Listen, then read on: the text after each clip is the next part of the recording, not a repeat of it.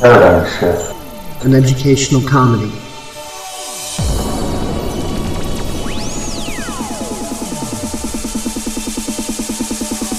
It's not a cause, not a movement. It's not a social group you can slap a label onto.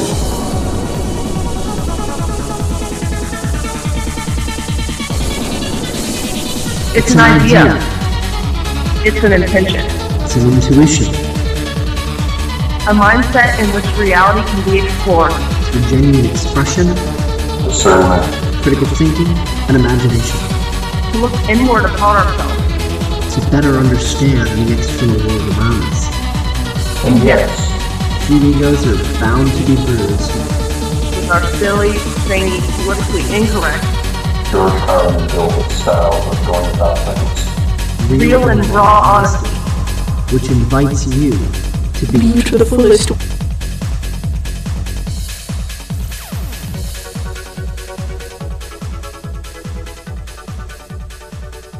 Hello, everybody, and welcome to yet another um, episode of Paradigm Shift and Educational Comedy. And um, we've also got Paul Roy and Katerina Roy on Skype. Say hi, guys. Hey, how's it going? Hey there. And um, yeah, I'm I'm just gonna be telling a big long story of the last 20 to 25 days, give or take, whatever, a month, whatever you want to call it. Things have just been, you know, com- completely nuts. Um, a lot of that has been good. There's been some contrast mixed in, of course. And um, on the screen share that I have open right now, there's the Deviant Art Journal, Where Did the Love Go? which which totally, totally ties into all of this. Um, but first, I need to do a little search for a particular clip out of a part of a video. Um, see, Richelle DeYoung's pastor is really awesome and has his sermons online and all that good stuff. And there was just a short little part of the sermon, not from this last Sunday, because usually well, it, it takes until about Thursday to actually get the you know the videos out. but from the Sunday previous, there's this just this little part of of the sermon that has total and complete relevance and is just completely and and absolutely just hilarious that um you guys are all going to love this. Um for those that you know are not christian don't worry nothing's going to get preachy or whatever. There's just this one you know a little part that is just really really funny and appropriate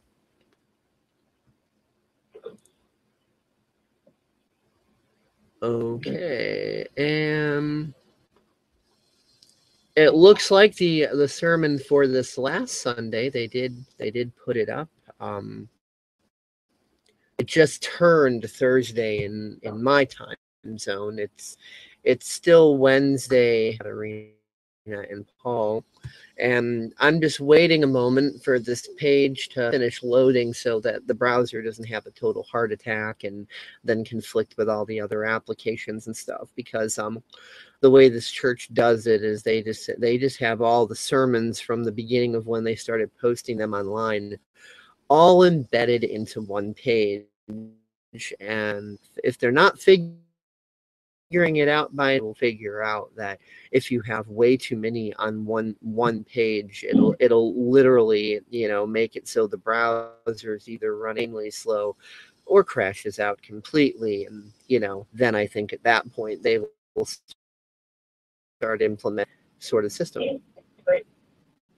what's up Katerina I said you would make such a great salesperson. You're like you drone on about stuff that's kind of like tangential and it's kind of interesting and it breaks your state and then it just like I, I just noticed that in our entire six year friendship I have listened to you talk about stuff that is just like completely random but so interesting because you're talking about it from your life experience. And it's, I don't know, it kind of was like pacifying and also I kind of passively listen to you. It's interesting. I am a great salesperson when I can be in an environment that I could do it, you know, in exactly the way that you said.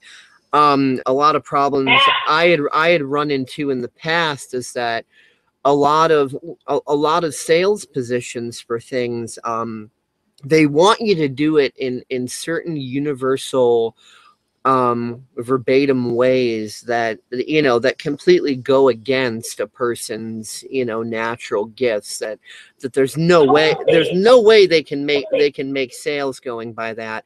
And the companies don't realize that if they let the person flow with their their natural mojo that that company's profits would go up like you know big time. But these companies are run by arrogant asshats. What's up So the job that Paul just got today, that's exactly the format that they're asking him to sell in. his own Yeah, yeah. I asked them how they wanted me to do it, and they're like, "Well, you got to be yourself, and if you can't be yourself, then you can't work here." I'm like, "Well, Nice. good news. I've got 33 years of experience being myself. In fact, I forgot to put it on my resume, but I'm really, really good at that." Yeah, and you get to sell fucking Picassos and yourself. How Yeah. cool is that? Right, and because I want to have one of them on my wall, it's really easy. that that's a part in the timeline of events here that we're going to be getting into a lot more um, detail with later because it's relevant and connecting with a lot of other things we're going Yeah, to excited. discuss. But yeah, I was gonna say I remember because like um, I'm a huge computer geek and I can build computers to all sorts of stuff. I'm a jack of many trades, and for a while I was in the business of you know physical computer repair and building and thing things like this and um you know a while back I I got out of that and I'll explain why I got out of that um back in in the day um client of mine by the name of Joseph Jewelers it's amazing that he's even even still still in business um you know, a, a nice guy generally, well intended. I'm not trying to shit talk him, but I'm I've also got to tell the truth of, of my experiences. This guy thought that because he had a storefront in a in, in a mini mall with a with a parking lot and that his business had been around since the Stone Age, that he just knows it all and he's he's right about everything. And you know, there's many stories about that I could tell, but the the one in particular is that this guy knew nothing about sales. He was good with jewelry. He was good at fixing watches. He was great with a lot of things, but sales was not one of them. And he would always complain that no matter what he did, sales were, were always down. And another thing that he would hate when I would do is talk to the customers. He, he's one of those people that thinks that being passionate and being yourself is rude and makes people uncomfortable and this and that and whatever. So I had to really observe the situation carefully when a customer was there and make sure I was like 99% sure that I could make a sale by opening my mouth and talking. So um, there were a few times that, that I did exactly that. And I told him, look, you were about to let those customers walk walk out of the store without spending a dime. And because I did that thing you you you say you don't like me doing, opening my big fat fucking mouth, you got a sale right there. Had I not opened my big fat fucking mouth, you would have not have gotten a sale. And if you would let me open my big fat fucking mouth more often, your sales would probably go up.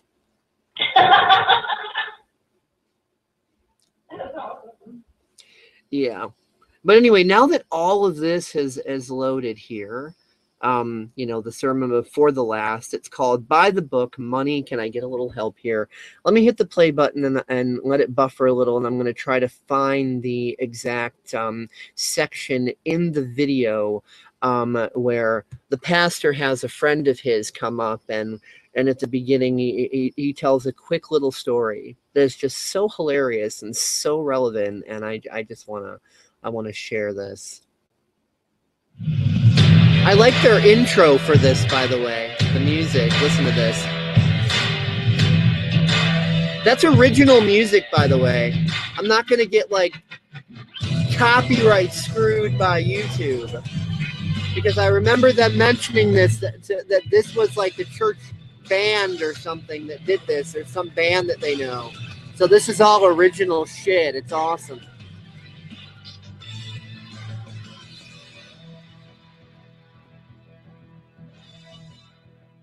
I'm totally gonna fair you snag that music one of these days. Again, thanks for being here today. Hope you're being encouraged.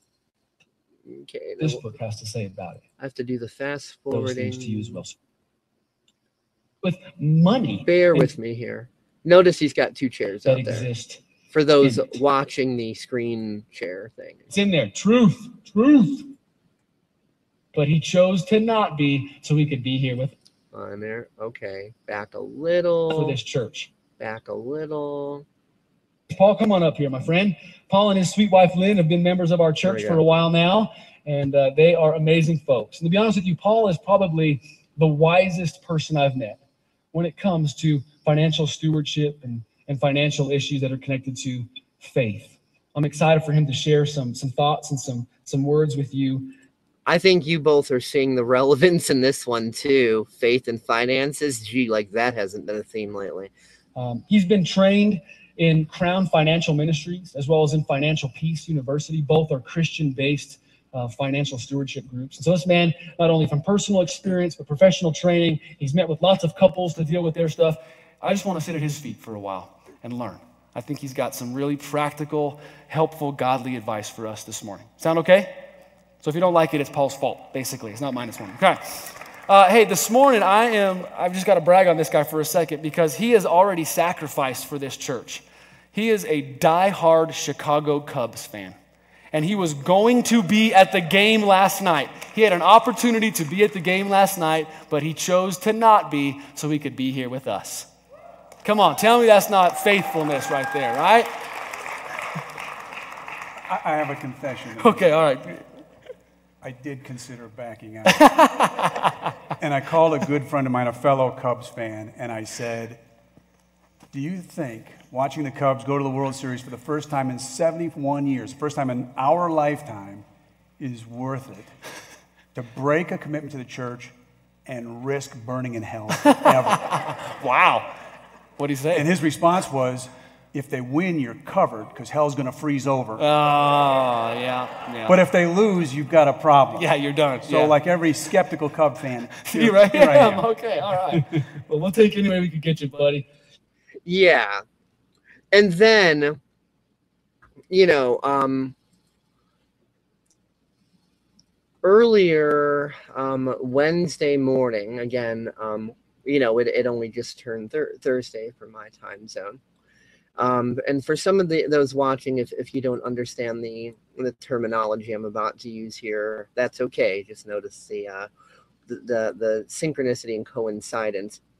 I said massive collective shift yesterday. I could feel it. Then a few hours ago, Richelle signed on the DeviantArt and got hit with all of the love and praise bombs she's received. Ha ha ha. She didn't reply to anyone yet. Today is going to be a, a day of uh, hashtag triggered for her, and I'm sure the synchronicity of her day will be intense.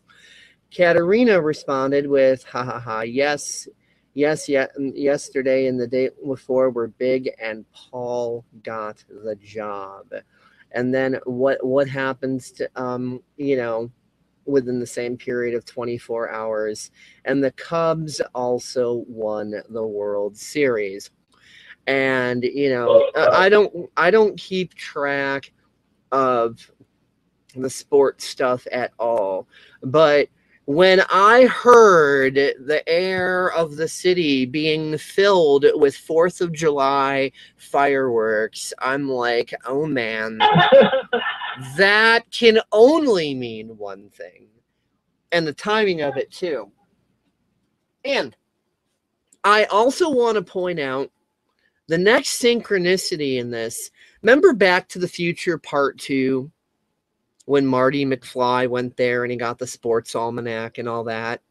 Well, Yeah. I, I'm about to show everybody here that um, Marty, um, and I- I'm I'm going to um, make this you know this video window slightly smaller and adjust the volume to reduce risk of like any copyright flagging or whatever but marty was only off by one year check this out Hey, kid, I'm a hundred bucks. Will you help save the clock tower? I sorry, no. Come on, kid. That's an important historical landmark. Look, some other time. Lightning struck that thing 60 years ago. Wait a minute. Cubs win World Series against Miami? Yeah, something, huh? Who would have thought? Hundred to one shot. I wish I could go back to the beginning of the season, put some money on the Cubs. I just meant Miami. What did you just say? I said I wish I could go back to the beginning of the season, put some money on the Cubbies. So in Back to the Future Part Two, they they predicted that um, the Cubs would would win the World Series in October of 2015, but instead they win the World Series in the the very very beginning of November 2016. So Marty was only off by like a year and a few weeks.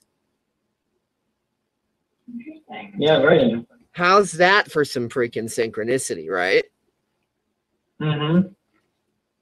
I mean, for something like that, where where the the Cubs have a a now ended 108 year record of losing, losing, losing, losing, and being really, really uh, pro- prolifically skilled at losing.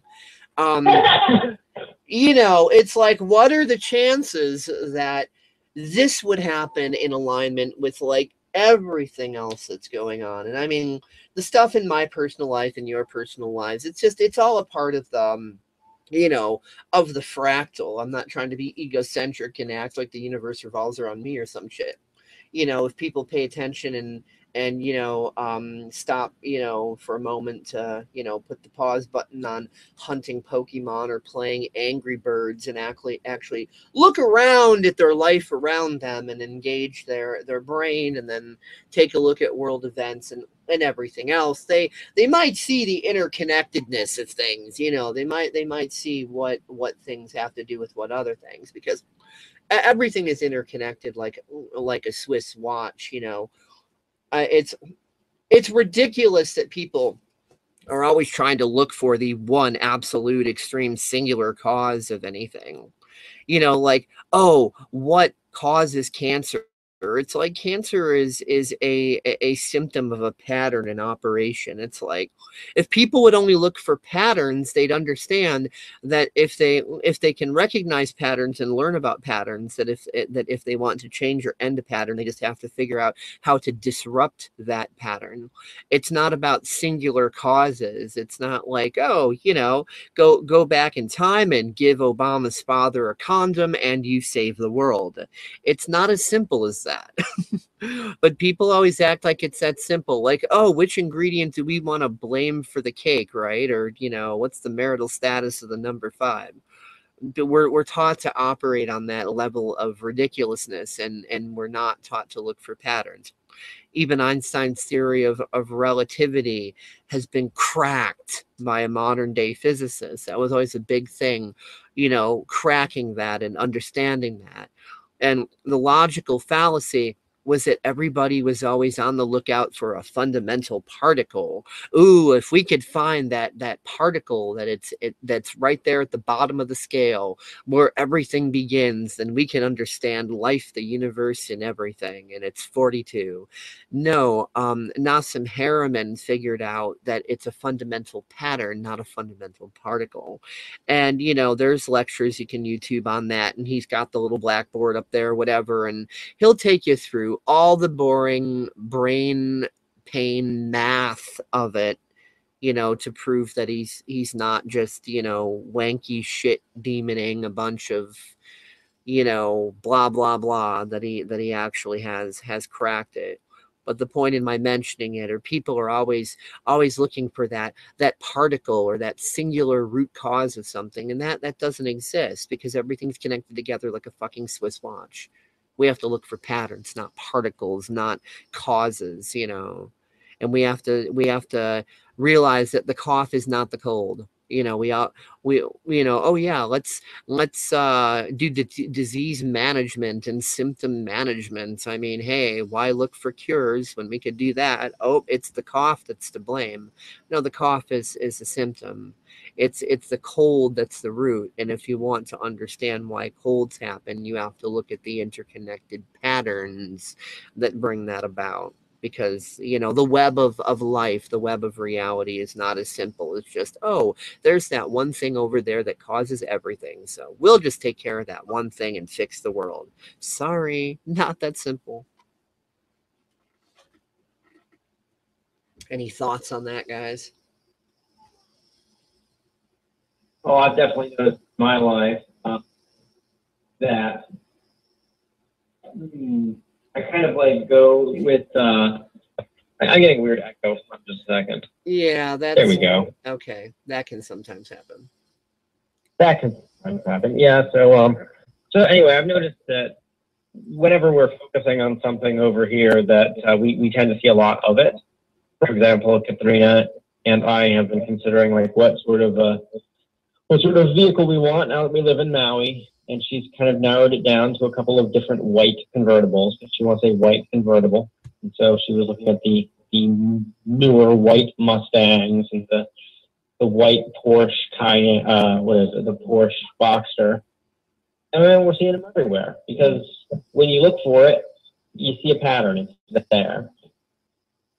And I don't think that um, I don't think that that uh, everything can be brought down to a single like a single symptom or, or one single cause or like, I've noticed that that over time things tend to go less organized instead of more organized. And so if you're if you're looking for a you're looking for a root cause of everything, chaos to order. Uh, like like the elites are partially right. They're operating on a misunderstanding but they're partially right.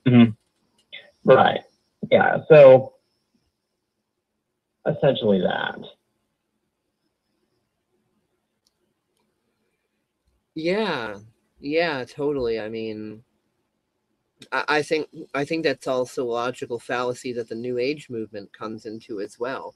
They think it's as simple as oh, you know, um, ask, believe, and receive. You know, as if you know, they're the universe is like a quantum like shopping mall or something, and you know they just go up to the aisle and and they, they pick out what they want and go to the checkout counter and you know god or source or whatever is at the checkout counter and you know they they they, they whip out they whip out their little credit card that's got the secret logo on it and slide it through the machine and you know they can just get whatever they want um, they're not realizing that people have to take responsibility their ability to respond and things happen in, in in patterns and in fractals. It's not like quantum santa claus is going to jump down their their chimney because they they placed an, an order on you know um, amazon manifestation dot wtf you know?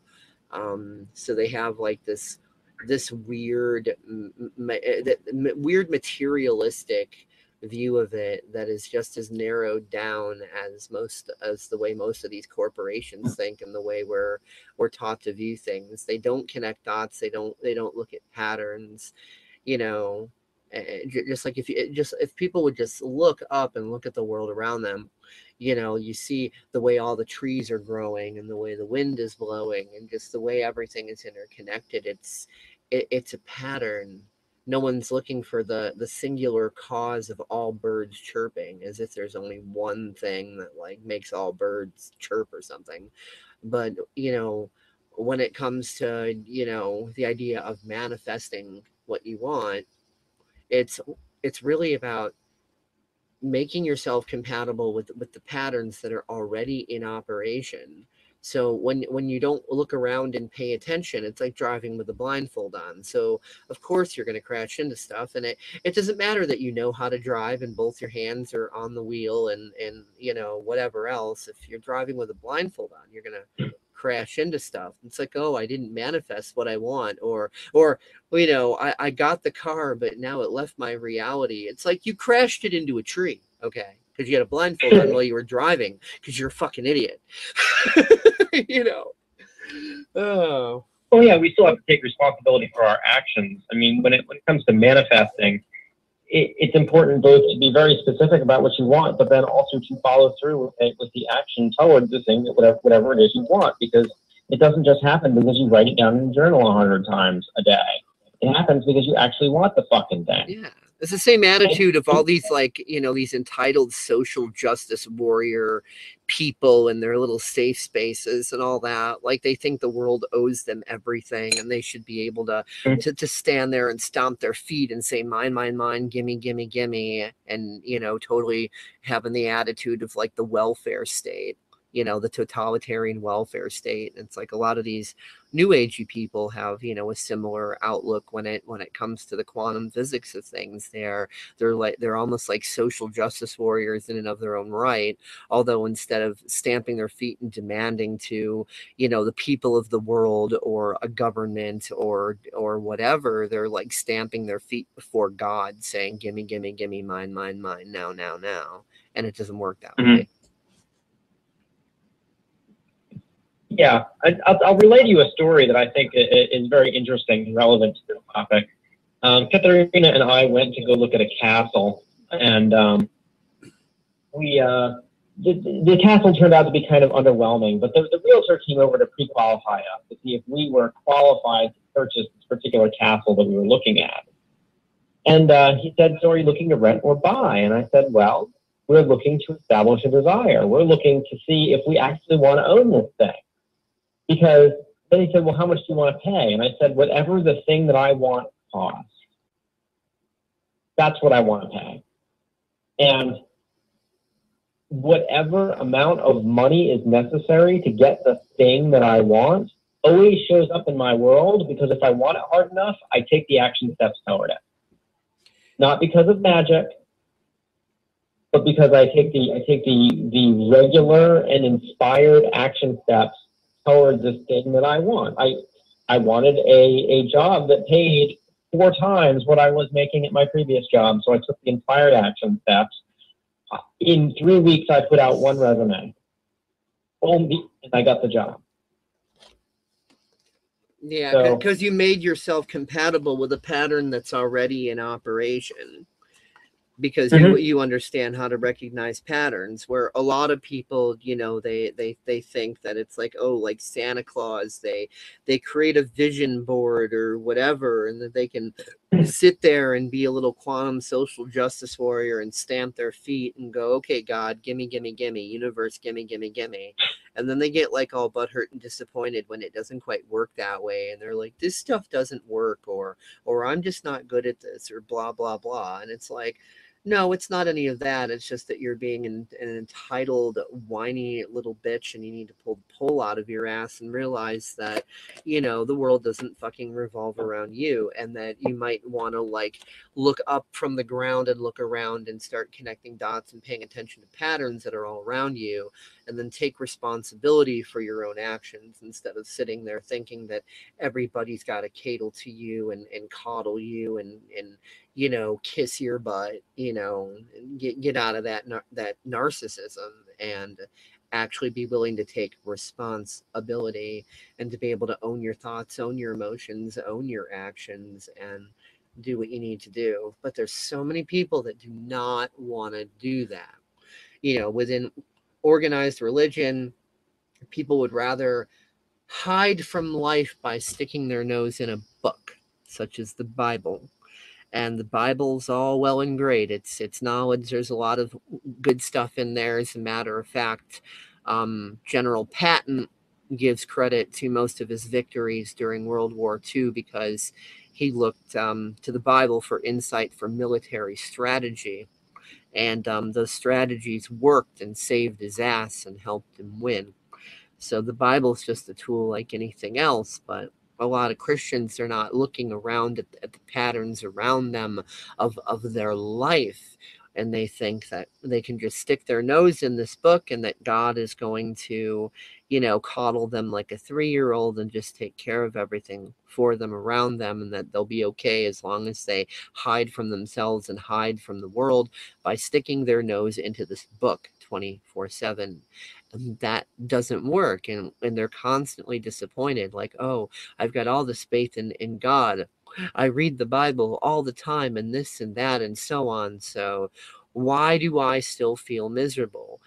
Uh, and and why are certain things in my life not working out the way i want them to? I've prayed and i've prayed and i've prayed. It's like no you haven't prayed you've whined. It's like dear god I'm my belief system is that my life is crap and I'm unwilling to change that belief system which totally cripples me from taking any personal responsibility or taking any action steps. So God, I'm just so miserable and I refuse to do anything. So if if you're feeling in a really good mood to put up with my whiny, bitchy, self-centered, arrogant fucking self that I am affirming and choosing to not deviate from and I refuse to take myself out of this mindset to actually do anything for myself. If you're in a mood enough to tolerate my stupid, rigid, stubborn ass, maybe you could do my job for me just a little bit, please, if you would. And then God says, Nope, here's the tools to do it for yourself. And then those people curse God. What the fuck? Or they curse themselves, like, I, I guess I'm, I, I must not have whined hard enough to win God's favor. Let me try whining a little harder, a little louder. Let me really try affirming what a piece of crap I am and how much my life sucks and blah, blah, blah. Maybe I just wasn't whining loud enough. And I look at these people and it's like, wow. hmm Yeah. I can, um, I can, something that Katerina and I do because I, I can imagine we doing both read the Bible and pray very regularly, like every day, all the time. Mhm. All, all- yeah, pretty much like my entire life is a prayer. But it's not the type of prayer that most people think of when they think of, hey, dear Jesus, I need this and that and the other thing, and you know, deliver me cosmic Walmart. Because what it is, it's like a, it's like a consistent acknowledgement of the higher power and a consistent state of gratitude, complete total gratitude for, for everything that is happening. Because, and really, what this is, it's just a shifting of my own state into into loving what is. Into being like, hey, the thing that's happening to me is actually the best thing that could possibly happen to me. My life rocks. Even when the thing that is happening isn't what I think or the way that I thought it would happen. Yeah. I was gonna say, and I could picture God doing a cosmic face palm, looking at these whiny people, just like, oh, geez, here we go with this again. Right. I mean, think about think about the way that the Bible describes the, the relationship between man and God as you're God's child, and and look at it. I mean, because it's not like look at the pattern. You have the you have the pattern of the child comes out of mommy, and then mommy and daddy raise the child. And what child gets what they want? It's the one that loves mommy and daddy, not the one that whines and bitches about how everything is wrong all the time. Not to mention, That's the child that gets what the child wants. That's the child that has the great life. and the It's the child, that just loves mommy and daddy. the child is excited to eventually grow into an, an adult. Whereas Mhm. when it comes to our own spirituality or when it comes to our addiction to dependence on government through our worship of authority, you know, adulthood instead of becoming adulthood becomes a state of extended adolescence. We want to forever and ever whine to God, whine to government, whine to this, whine to that. I mean, it's all well and good to point out that yes, we, uh, you know, the world's run by psychopathic scumbags and, and they've done this, that, and whatever, but that's not a blame. That's just a symptom of a problem, you know? And when you really look at the, the pattern of the source of the problem, it's because we, the people in our complacency, have allowed psychopaths to take power because what are we doing? Whining like little entitled bitches. Oh, I'm not willing to do anything for myself or think for myself or be thankful for anything. I want a politician to fix my life for me. I want a politician to fix my world for me, do everything for me. And if they don't, then naughty, naughty, naughty on them. It's their fault, wah, wah, wah. And it is that attitude that allows psychopaths and scumbags to allow hmm. organized crime to run the world. That's that's on us. And people will argue, oh, but you know, they created these mind control means to lock us in so that we're, unaware and blah blah blah it's like yeah well that was then and this is now because we're in a major awakening process now and anybody who pays even five minutes of attention to world events you know can see that uh, you know the genie's out of the bottle the cat's out of the bag in the age of information ignorance is a choice That absolutely is.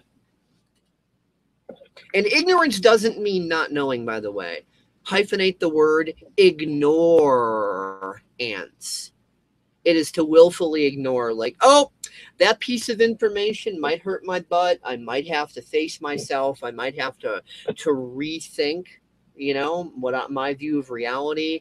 I might have to acknowledge that there might be some some people things establishments or whatever that i put my faith in that might have betrayed me and then i have to process those emotions of betrayal which is really freaking uncomfortable.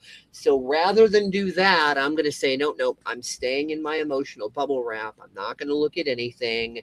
Hil- Hil- hillary's wonderful and trump is god and government and corporations can do no wrong because they're protected from evil and corruption by a magic force field powered by unicorns because God God put that there because I say so for no reason. So there, and if you try to tell me otherwise, I'm going to to close my eyes and cover my ears and hum la la la la la. You're an idiot, and I'm an intellectual genius. La la la la la. Shut up. La la la la la. So that's what a lot of people are trapped in right now. So it's not that the information isn't there. So when anybody told me, but but uh, but I was born into this system. I didn't make this. The elites were here for long before I was. The scumbaggery's been going on for a long time. It's like that may be true, but we're in we're in the age of information now. So ignorance is a choice. Sorry to break it to you.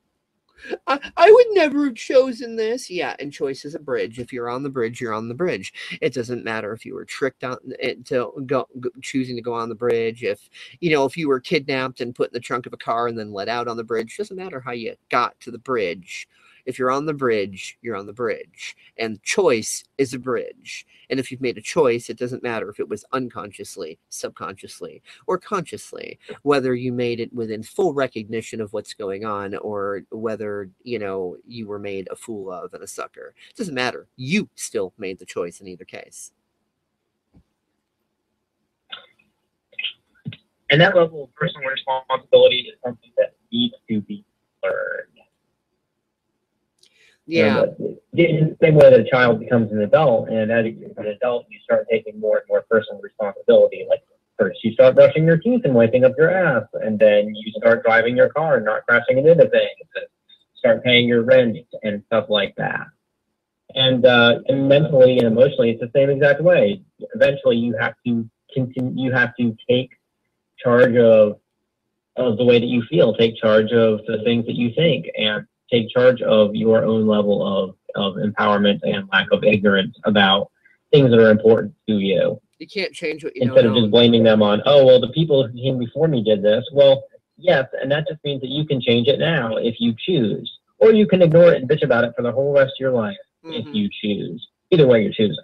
you can't you can't change what you don't own so if you Mhm. don't if you don't own your thoughts if you don't own your emotions if you don't own your choices if you don't own all of that then if you always do what you've always done you're always going to get what you've always gotten. It's not rocket science it's pretty simple straightforward really. I But- found that in my life, I've been able to essentially do what my peers would consider to be quantum leap in the material realm that I that I find to be actually moderately unimportant because I just sort of have whatever I want whenever I want. And um, the reason is simply because I'm willing to destroy my belief system completely and rebuild it with better, newer information. it takes practice though Yeah. right it takes practice though right Yeah, and I practice it very actively. people are people judge practice as bad because they they've been taught to have such low self-esteem and taught to think that making mistakes makes them dirty and evil and bad and, and wrong and, and weak and they have to get it perfect the first time otherwise terrible them naughty on them. Even though einstein said anybody who's never made a mistake has never tried anything new but people but you know within practice you know you're you're you're going to make mistakes and learn from them when when you practice. That's just a part of how it works but people judge the idea of making mistakes as being so horrible like oh my god if i make a mistake i'm a dirty rotten horrible person and life is over and i fail at life and there's no no recovering from that and people have just gotten really really neurotic in their delusional perfectionism and protocol happy worship of authority Mhm. Yeah, and the fact is that the master has failed more times than the neophyte has tried. I mean, I have failed and failed and failed in life. That's why I get to live on Maui. That's why I get to, to have the life that I want because of all the times that I have failed so miserably. All the times that I have and I have like yeah, I lived in a goat shack. You know, like to remind me, there was a time in my life when I lived in a goat shack on top of a mountain, and I only saw somebody every two weeks, and I was talking to dogs and shit because I was so bored. And um, you know, when people finally came up to visit me, they were hippies and they did a shower and they did naked qigong around me. And honestly, I'm not going to say that that was the highlight of my life. but but I will say that it is that experience that allowed me to shift the preference of not having the naked Mexican hippie doing qigong in my general vicinity. A preference that I otherwise would not have created. Oh, yeah. Also, words like should, shouldn't, and trying are totally loaded words because, like, trying is a is a setup to fail, whereas words like practicing implies that you are in a constant state of improvement. Yeah, you'll make mistakes, but you know, winners fail until they succeed. Losers give up um you know so it's you know trying the word trying when we say oh i tried and i tried trying is an excuse when when people use the word trying ever no, notice that they use it not in the context of oh yeah i'm going to keep trying until i make it they use it in the context of well i should stop now i should give up because you know i tried and i tried and i tried and i'm just a pathetic loser and i keep proving that to myself so so i'm just going to give up now that's the context of trying. Whereas Okay. practicing is a totally different thing. And as Yoda said, try not, do or do not. There is no try. There is no try. Yeah, the, the the words that people use are very very powerful. The um, I have been very, I've been very intentional about removing words like can't from my vocabulary, simply because I do not choose to live in a reality where there's anything that I can't do. I can. I simply persist long enough until I do, whatever it may be.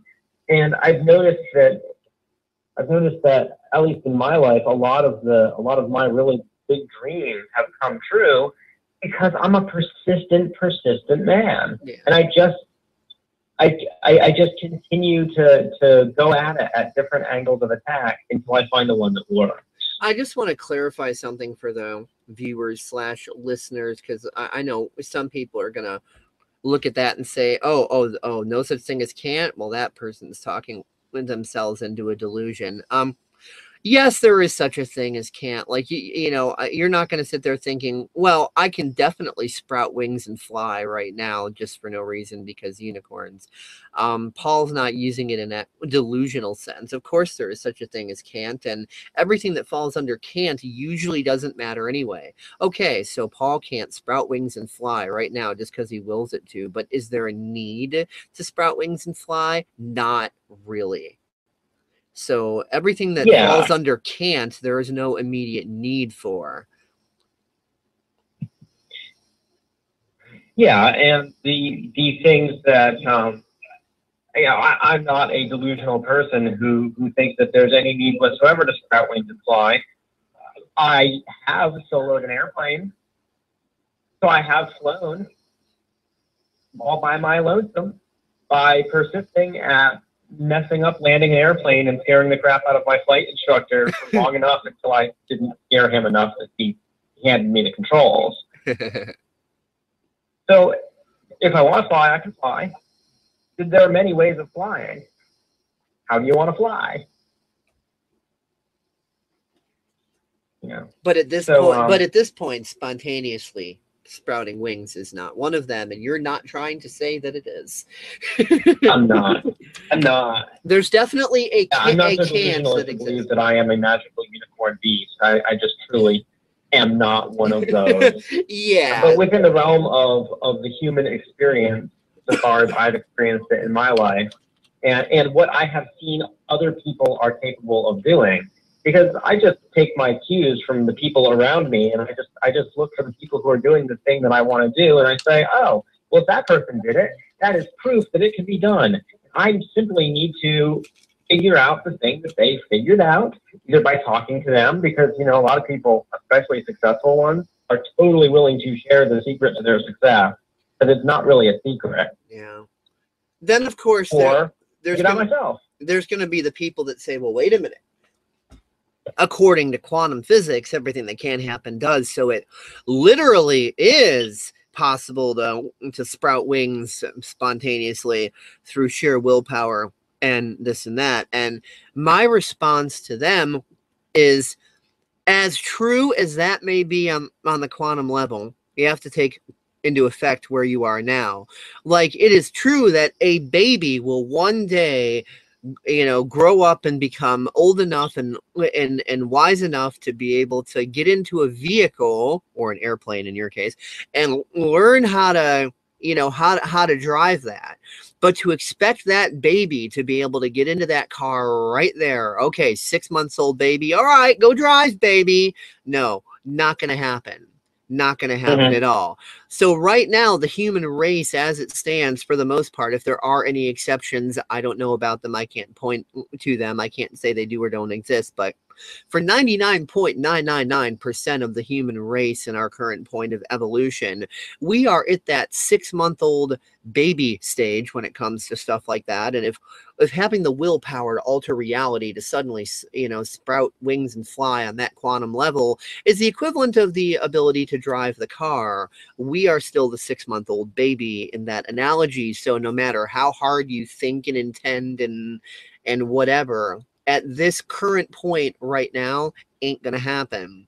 That doesn't mean that humanity won't advance to the point to have that full willful control over over the matter around it. Hell, might might even be in our lifetime. We're in an accelerated rate of change. But as it stands right in this here and this now, we are the six month old baby that is not going to just suddenly manipulate all matter around us with our will for no reason because unicorns, if we are going to learn how to do that, it's going to be a process of learning. It's probably going to take a hell of a lot of time. So it doesn't matter how much faith you have or or how much you know about quantum physics or whatever, you know, to think that the six month old baby is going to drive the car is pure fucking delusion. It is. We're dealing with time horizons here.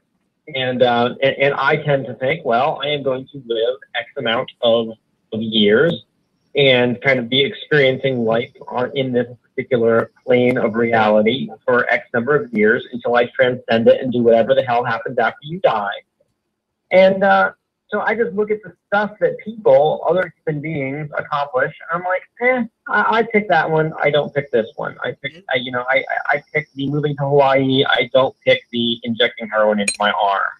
I, I feel like moving to Hawaii was a better choice Or me personally. Even if you even if you even if you do manage to figure out immortality, that just means that then you will have the time to learn a whole bunch of other things that might not be able to be learned within a hundred year span. Going back to the point that it still takes time to learn things, regardless of what it is you're talking about. It still takes time. And people who think that they can skip the learning process are kind of operating under a delusion. Absolutely. And even people who are naturally talented or get some form of divine insight in order to rapidly accelerate the learning process still have to figure out how to get said divine insight. So even if you're pulling your energy from a place that is not of this world, you still have to figure out how to do it. Yep.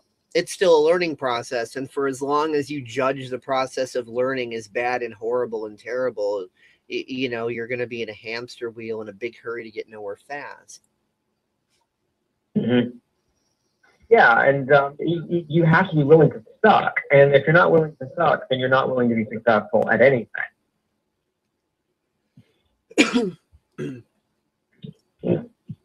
Sucking at something is the price of success. Yup.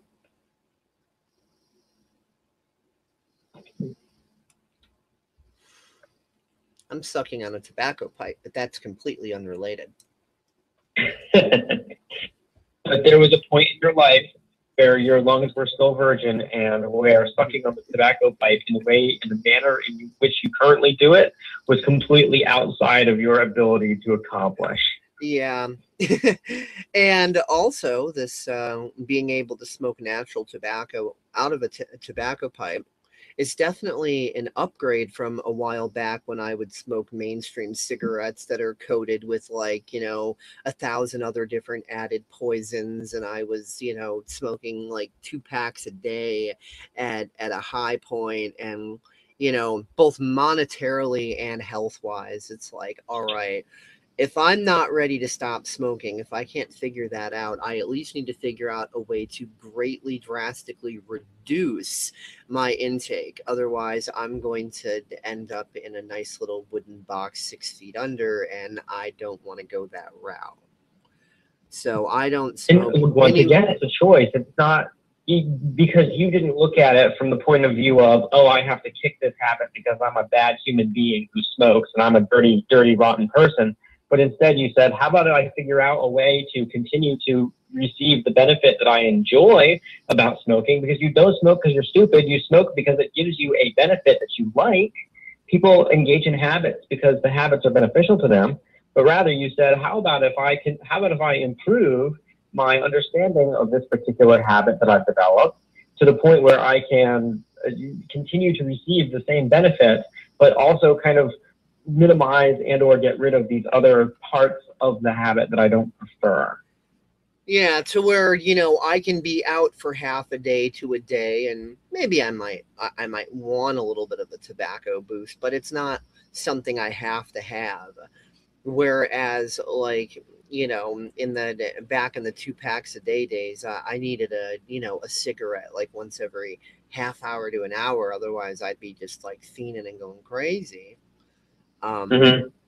you know, I had to figure out how to reduce. And it really wasn't so much the tobacco itself that was putting me in that state, but all the added poisons, toxins, and chemicals and stuff that they add to mainstream cigarettes so that they burn faster, so that they're more highly addictive, so that, you know, people are buying more, you know, corporate scumbaggery there for you.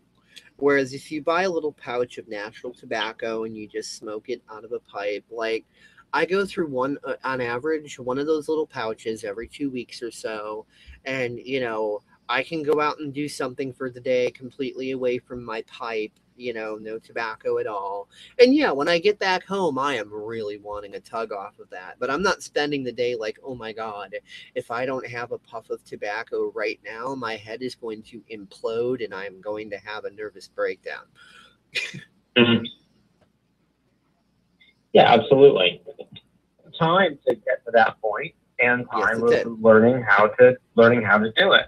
Yep. I, I recall an instance when I was up, and um, one of the one of the hippies. This this one kept his clothes on, but he was he actually brought a big pile of his own homegrown tobacco with him, and I just sat up on top of the mountain with him and smoked tobacco, and and really enjoy it. And I had never really I'd never enjoyed tobacco before because my first experience was with a cigarette, and I was like, "Good lord, this is nasty."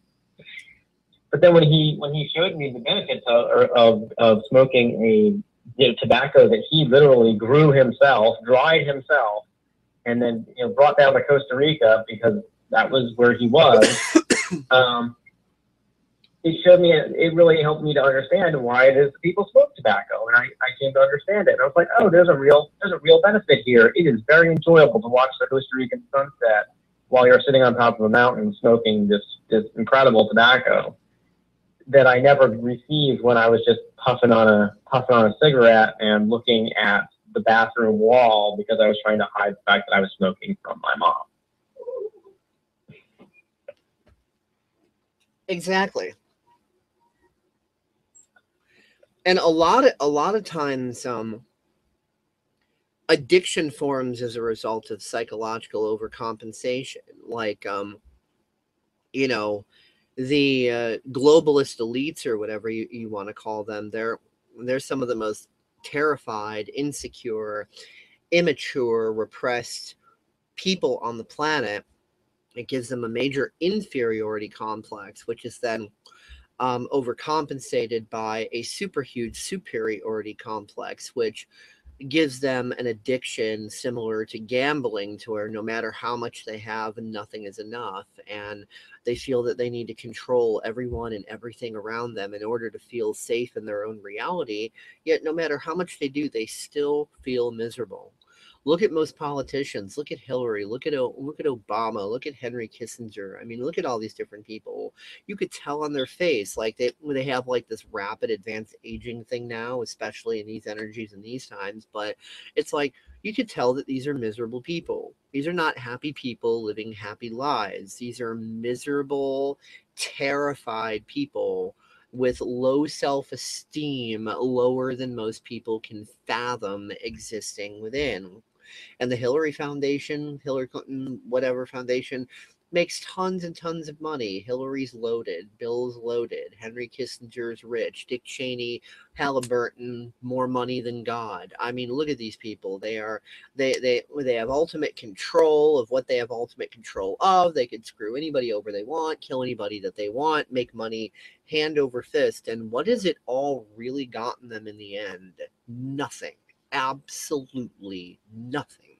They are miserable, worthless, pathetic examples of human garbage, and all of their efforts have been for naught. They are still miserable, worthless pieces of shit, greater than anybody can fathom, because most people cannot fathom what it is like to be in that level of, of, of worthlessness most most people's minds cannot go there. They cannot go into the psychopathic mindset because most people are not psychopaths.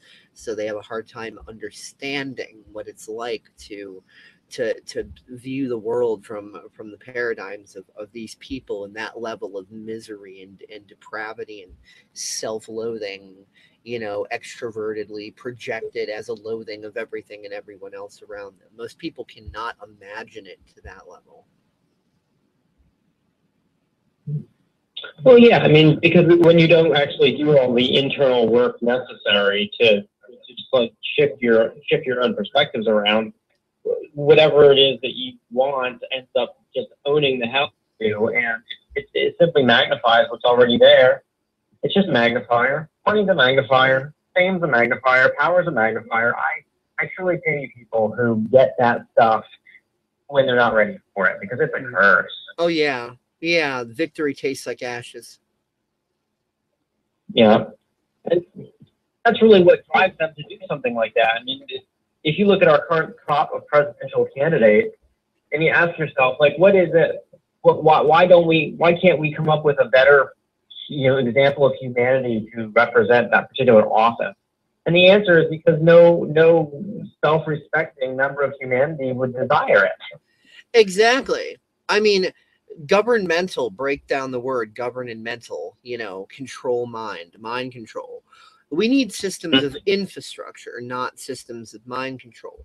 And the best infrastructure in the world can only be maintained by a well educated population that has very high self esteem.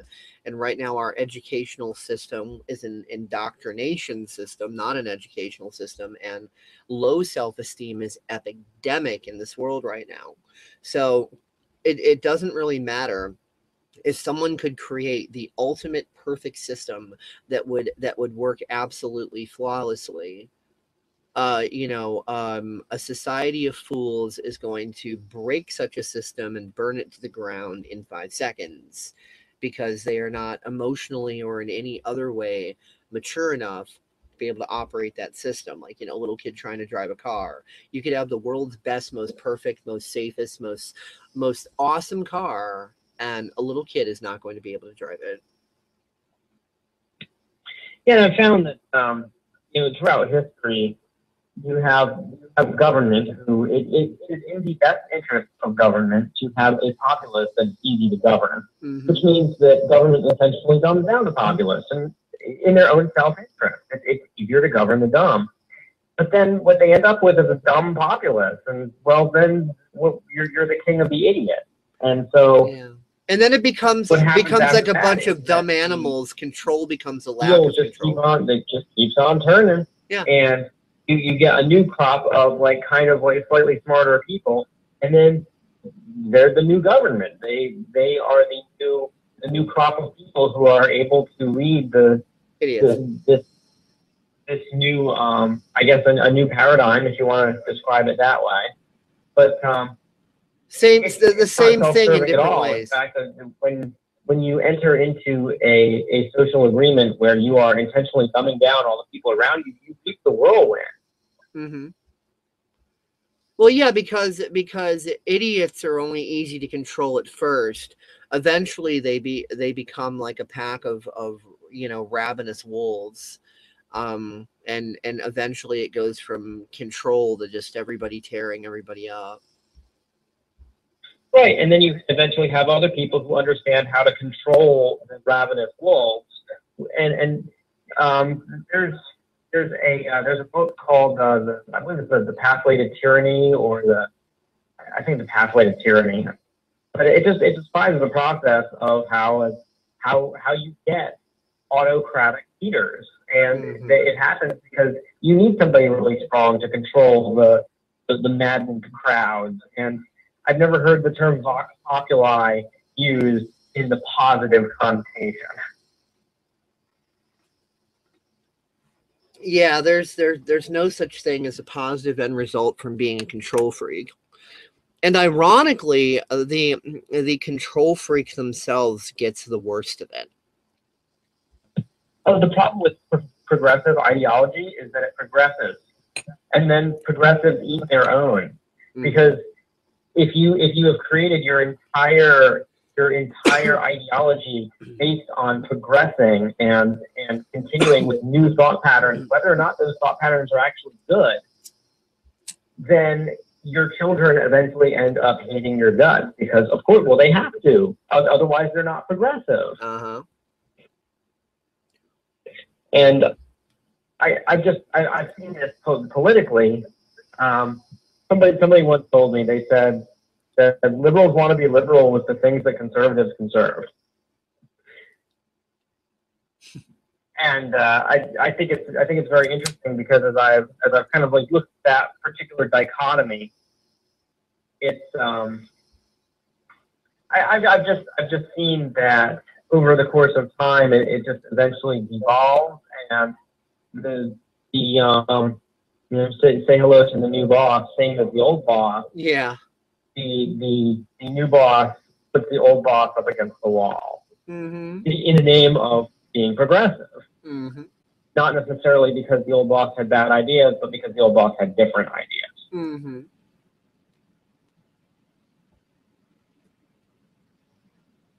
Yeah, totally. And and you know, just like um you know, there's um the phenomenon of, you know, the crystal kids and when people put crystal kids on, on a pedestal, the crystal kid becomes an apathetic, pissy social justice warrior. What people don't understand about crystal kids, it's like a, a crystal kid is like a new advanced, highly superior computer. And with a newly advanced, highly superior computer, if you run bad data through a superior computer, it's going to break harder and faster than the old in, in inferior computer could have. because the the old, the older model of computer took longer to break because it wasn't able to process all of this bad nasty data quickly enough. And plus there was a limit to the the level of nastiness of the data that that computer was even capable of processing. But now you've got a computer that can process like the most nastiest data ever at like breakneck speed. So of course that computer is going to uh, fall faster than rome so to speak metaphorically speaking. So when we put you know these crystal kids on a pedestal it's just like you know eh, eh, eh, what they are able to accelerate is not biased towards the positive or the negative you know? If you put really good data in a really powerful computer it's going to you know pro- efficiently process the good and you know the same with the bad you know it's it's it's not biased. That's that's what people got to Right. realize. Hmm Yeah, and if you want to take that analogy further, to say the human being is like a, a, a new, com- you know, a new computer, then it, is important as the older generation to make sure that you put the best and brightest amount of, you know, type of data in the thing that you know to work really, really well, because they're just going to amplify it. mm-hmm And so that's why it's so important to walk around building people up, build them up, build them up, because otherwise they are going to process the, the, the old paradigms faster and harder and crash even worse and just really destroy everything around them in, in a more in a more uh, violent way. Exactly. I'm seeing as within this discussion, I do need to progress down the timeline that I'm I'm intending to go down here. Um, this brings me right to the, the the journal I did on deviant art, a little rant called "Where Did the Love Go," and um, talks about exactly the sort of thing we're discussing here. There's a picture at the Mhm. top that says, You are here to bring light to the darkness. You are not here to run away from the darkness. You are not here to judge the darkness. You are not here to pretend that political correctness brings light to anything. Bring compassion, bring compassion and understanding to all the dark places where there is suffering. This is your task, should you choose to accept it. And that is a quote by me. Um, that was me kind of venting off, as is this entire journal. One thing I've always loved about the DeviantArt community is the profound willingness to spread love and support around like free candy. Everyone has always been so excited and motivated to render positive feedback. When someone is depressed, the love pours out. When someone needs encouragement about their art, the love pours out. The genuine love and support. Not the fake, oh, don't worry, things will get better, false sense of hope bullshit, but the honest, heartfelt, authentically expressed kindness, compassion, and empathy. Lately, this aspect of deviant art, which I've always loved, seems to be a dry well, and it's not just limited to deviant art. It is as if the entire planet is in a state of apathy and self loathing at the moment. People bitch about themselves, about others, about Hillary, about Trump, and don't get me wrong, nothing wrong with being in a bad mood sometimes, and nothing wrong with calling shady shit when you see it. And expressing the negative is just as authentically important as expressing the positive. I always acknowledge that. I have no problem with that. I'm completely fine with that. It just seems that lately, being a time when people really do need to pull together and be compassionate and understanding and loving more than ever before, that the motivation factor in this has suddenly flatlined. Am I completely crazy for pointing this out? Is it somehow weird or wrong or bad for me to think that compassion and empathy is something people should be more focused on right now? Is it bad or offensive or creepy or inappropriate or somehow incorrect for me to be saying, and more than saying, outright insisting that we really need to move out of this collective mind fog? If so, this journal, excuse me, if so, this isn't the journal for you. These aren't the droids you're looking for. Move along. But if not, and if you resonate with what I'm saying, and you really truly uh, and you're really truly feeling aligned in your own heart with the words on this page, then keep reading. At the risk of seeming totally crazy and eccentric, oh wait, too late. That ship has sailed. I'm going to attempt something daring, something irreverent, something that might just get people a bit triggered because it's going to be something extremely positive. No clue if it's going to work, and I can't realistically have any expectations of success. I'm going to try anyways. And yes, sometimes I use the word try just in order to kind of play the paradigms of the people reading it and to keep things shorter. Um, sometimes you got to do that it's really about the the self affirmations don't program yourself with the word try um The totally triggering part about it, and oh, I just accidentally misclicked and opened up a little like box thing on here that I need to wait till it loads and then hit the X button to close it out again. That needs to go bye bye. Okay. the totally triggering part about it is that you're going to give it a try with me. No, that's not an order. I can't force you but I can hope that your desire to be understanding might just exceed your desire to be understood. Maybe that's delusional on my part, but going to roll with it anyways. I'm going to seek out people here on Deviant Art, those on my list of people I watch, which is a hell of a lot, and see who really could use some love and support right now. I'm going to add them to this journal. I'm going to explain why I feel they need it, and then make suggestions as to how you might, if you so choose, aid me in rendering it. For those who watch me, this journal will periodically pop up again in your notifications as I add to the list. Also, if you know of anyone in desperate need of love and support right now on Deviant Art, explain who it is and why you feel they need it in the comments below. I will add them to watch and add them to this journal and get that ball rolling. I'm going to show you what you might call a blanket plan of action. In other words, I'm about to explain universal actions to take with each person that gets added to this list. This way, it makes things less complicated and less worthy or wordy. Yeah. W O R D Y. Please take the following actions. One, add them to your watch list. That's an obvious one. Two, browse their gallery and journals, look for anything and everything good about their content. Three, comment on their main profile comment section about their art as a whole. Give them the link to this journal. Four, make positive comments on one or more of their deviations. Five, make sure all comments are genuine and from the heart, not just cool art or I like it. That sounds fake and lazy. Six, write your own journal entry about the person, tag them in it, tag me in, in it, link to this journal encourage others to show them some love.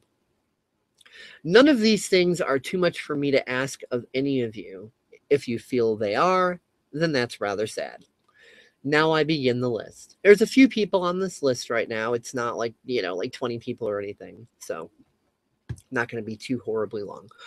Um, Forever Artist 5454. And the story about her is one I, I will also get into a little more in depth on this uh, on this hangout after I read the journal because it also ties into all sorts of other synchronicities and alignments and crazy stuff going on. Richelle, that's her name, has been a dear friend of mine for about four years, give or take. More than just a casual deviant artist, I consider her as being one of the best female friends I have. She has done so much for me and inspired me so much.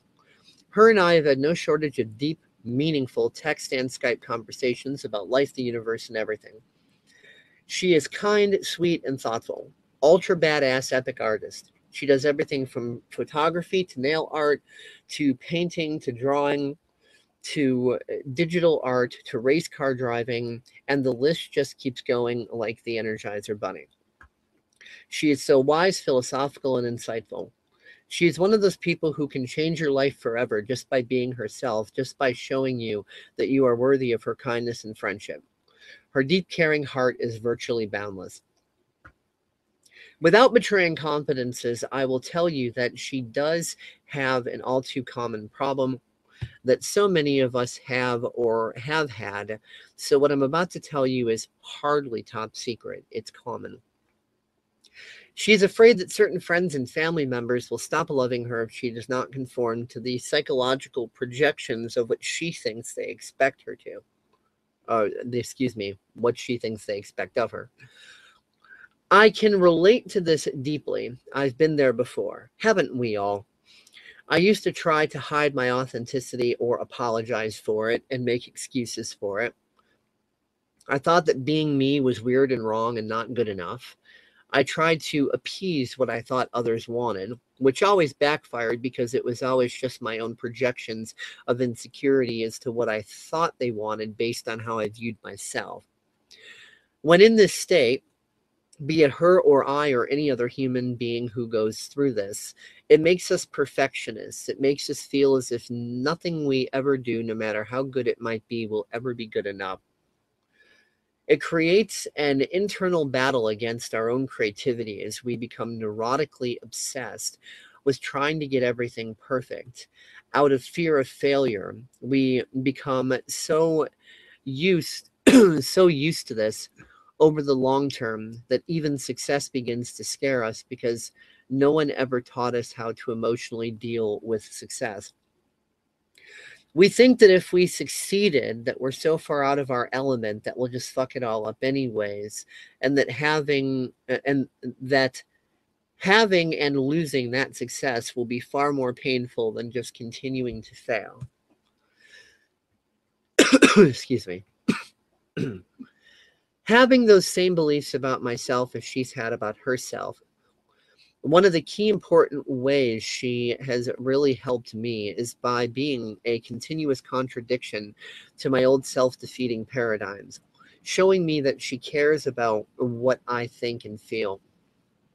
While having spent most of my life presuming no one could possibly give a shit. Showing me that being who I am was important to her showing me what it, what true friendship really is clear communication unconditional love and acceptance that friends and family do not have to always agree with each other on everything and that disagreement will not make the love go away. Similarly me being who i am contradicted those paradigms within her as well. When we are down on ourselves we're used to people looking at us as if something is wrong with us and acting as if we're doing something bad simply by being in a defeated mood, which then makes us feel even more defeated. Her and I both showed each other that we still accept each other in all moods and moments. That even when we're in a funk, that we deserve the love and support that neither of us have been used to getting. This is true friendship. This is what neither of us thought was oh. possible.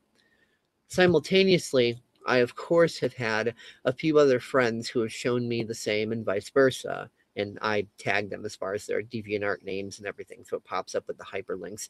I am Darkness Taylor, General Tate, Thinking Kristen, Katarina Edwards, Issa J, parentheses, who is no longer with us. No matter what, we are there for each other and do not judge each other. Right now, Richelle is in a very deep funk the sort where no no one person could possibly have any hope of penetrating her walls, not even me. In past experiences and also to her own admission, one thing that is very helpful is en masse contradictions, meaning when a whole hell of a lot of people are showing her the love simultaneously. She is no stranger to me making public calls for support and having it rendered by the community.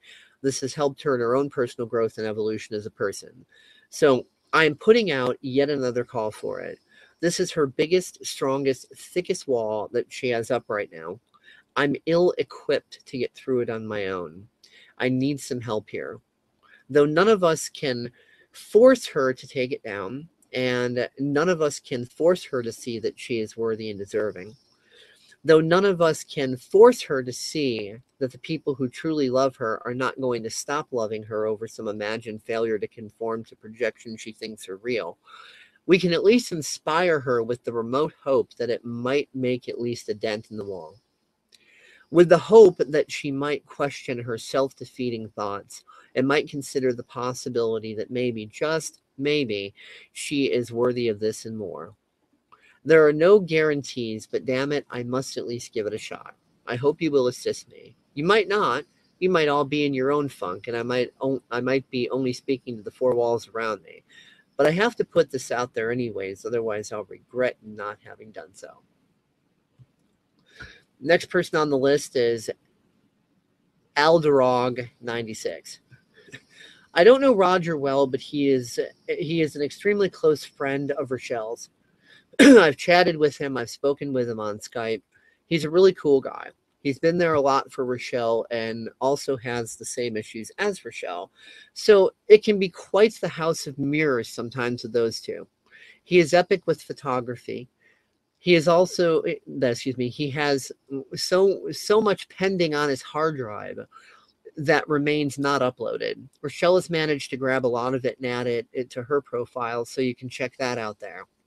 He too needs to know that he is worthy and deserving, that he does not have to push away love and support. He needs every bit as much as Richelle does. He too has an equally impenetrable wall up at the moment. So please encourage him to upload more of his photography work, and it is no exaggeration when I say Richelle will appreciate your eh, that your assistance even more than I will. She cares about him a great deal. Then another person, Sunshine Joy YT. According to a comment you can see below by Zuara, this girl seems to be in a very dark place lately. I don't really know her, but I can only speak from my own experiences of being in very dark places and hope that it might be useful insight. I've learned that there will always be people who love you and others who think you're the worst thing to happen uh, to the world since Hitler. Some people just aren't happy unless they just aren't happy, and haters gonna hate. On the flip side, there will always be people who think you're wonderful and awesome and the best thing since Chicago pizza. And Chicago pizza is the best thing. Trust me, I'm from Chicago. I know these things.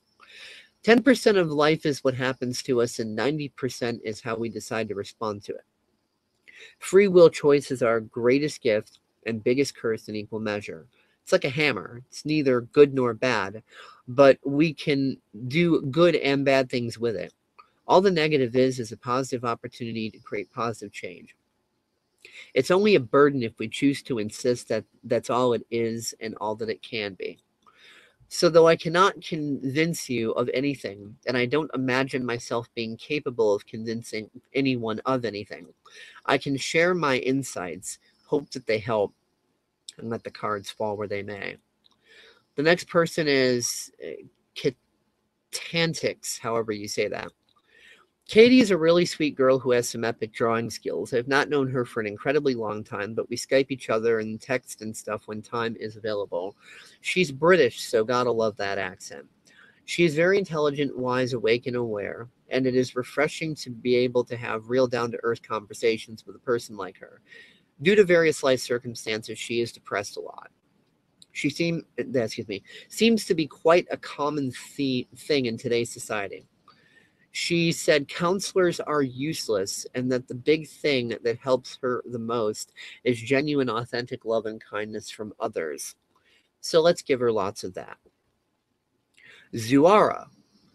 This person is someone whom I do not know, but has proven themselves to possess wisdom and genius beyond their years. Someone who is aware of their genius and wisdom, but in the society we live in, feels underestimated and underappreciated. Someone who has much to offer the world but is afraid to step up and shine their light into the darkness. Once desire and determination exceed fear, this person will learn that instead of feeling paralyzed, adversity will only fuel them. The trial by fire will burn away the doubt to reveal the champion. The challenges will excite yeah, the challenges will excite and inspire this person instead of making them feel debilitated by a world that doesn't seem to care. All who look upon this person will be inspired by their passion and mystified by their ingenuity. This person will be an enigma to all who seek to remain in ignorance and a visionary to all who wish to step into the light. This is the future that awaits this person once they decide to answer the knock at the door of opportunity, moving out of the fear of what might be awaiting them on the other side. More people to be added soon. The game is on, as Sherlock might say. The last note on there is something that needs clarification. I greatly appreciate the fact that people want to share and save this journal. I appreciate the fact that they like what it says. I do, however, wish to make it, it clear that to, that too many people discuss love, kindness, and compassion as a topic of discussion as if it's nothing more than entertainment media, yet take no action and they do nothing. I'm looking for this to be a catalyst to inspire change, to invoke a momentum of positive action. I'm not looking for this to be yet more ideological lip service. And that's the end of the journal, and I'll pause there for you guys to provide your feedback and insights. Well, I think that um, especially when it comes to creatives, so creative people are are very prone to to larger swings of emotion because creativity takes so much courage because it takes it takes so much um, so much self awareness in order to to put something out into the world that others might not like. Because as, as you are aware as a creative I mean you're putting your heart out there. You're putting your you're putting your soul out there. You're really you're really bearing yourself. And uh, especially with regard to Richelle's issue where she thinks that her her family isn't going to like the things that she is um, that she's putting out or that people that she knows are going to to not like it for whatever reason. Oh, with I that, mean- with, that, it's uh, it's not that aspect is not about her art. It's about her being herself. Um, Mhm. But when someone th- thinks that them being themselves is not good enough, they judge every every other aspect about themselves. Everybody who looks at her art thinks it's wonderful and awesome and is high praise. And but it's her problem is that she's the one judging herself too harshly. Um, you know I, i've told her I, don't- I don't think that you know these these family members and friends or whatever that that love her um i i don't think they're going to stop loving her based on a difference of, of opinion or her being herself. I mean her being herself is awesome and you know i i think that you know i don't think any of these people ex- expect oh you have to agree with me and think the way i do on every little tiny thing one little misstep and you're gone bye bye fuck you. No that's i mean these people love her so much that that's not going to happen but she is she's so incredibly down on herself that she thinks that's what's going to happen. Um and I, I will talk, you know, more on that in a bit as far as the things that I'm not breaking confidences to to disclose, but even those will add more clarity beyond the journal. But I just want to make the point that it's not that it's not that she thinks people hate her art. She knows people love her art, and that triggers her more than anything. hmm Yeah, because you need to be emotionally ready to receive love, and especially to receive love from yourself. Self love is the prerequisite to being loved by others. Because if you don't think you're worthy of being loved, how on earth it, it causes such incredible cognitive dissonance when other people love you that it just completely breaks your brain. Mm-hmm. I think Katerina can speak to that one. yeah, as the uh, as the husband of Katerina, I'm sure that she can. Sure, we're talking about uh, we're talking about self love and self acceptance as being the prerequisite to being able to accept others. Oh, fuck yeah. Yeah. Seriously, I think that that was one of the main reasons that our relationship was able to be as awesome as it is, Paul. And it's because, like, I did all the heavy lifting with Dave in the, the first, whatever, five years, four years. He got to deal with all of my crazy swings of self hatred and self loathing. Okay, I'll buy you a Chicago pizza. I know that you're the yeah, well, um, okay. So so her shifts are my fault. Just blame Dave. If you like something, blame Dave. If you don't like something, blame Dave. Just blame Dave. It's the new and cool yeah, thing. I mean, like, when you're not you, when you're not blaming Paul, blame Dave. That's it's it's it's uh, the eleventh commandment. It's in there somewhere. It's a good blaming. It's a good I know, I know. I'm just teasing. yeah. We called it something insensitive talk today. Nah, you don't really do that anymore. You're pretty in tune with yourself. Yeah. But that's also because you stopped giving yourself shit and you stopped um, being so hard on yourself. So when you started accepting yourself more, you started being way easier on me. You remember that? I do. Remember how that progressed? That's why I don't. I don't take this impenetrable wall that Richelle has put up personally. Like, yeah, it hurts and it sucks and I don't like it, but I don't see it as like, oh, Richelle's hurting me.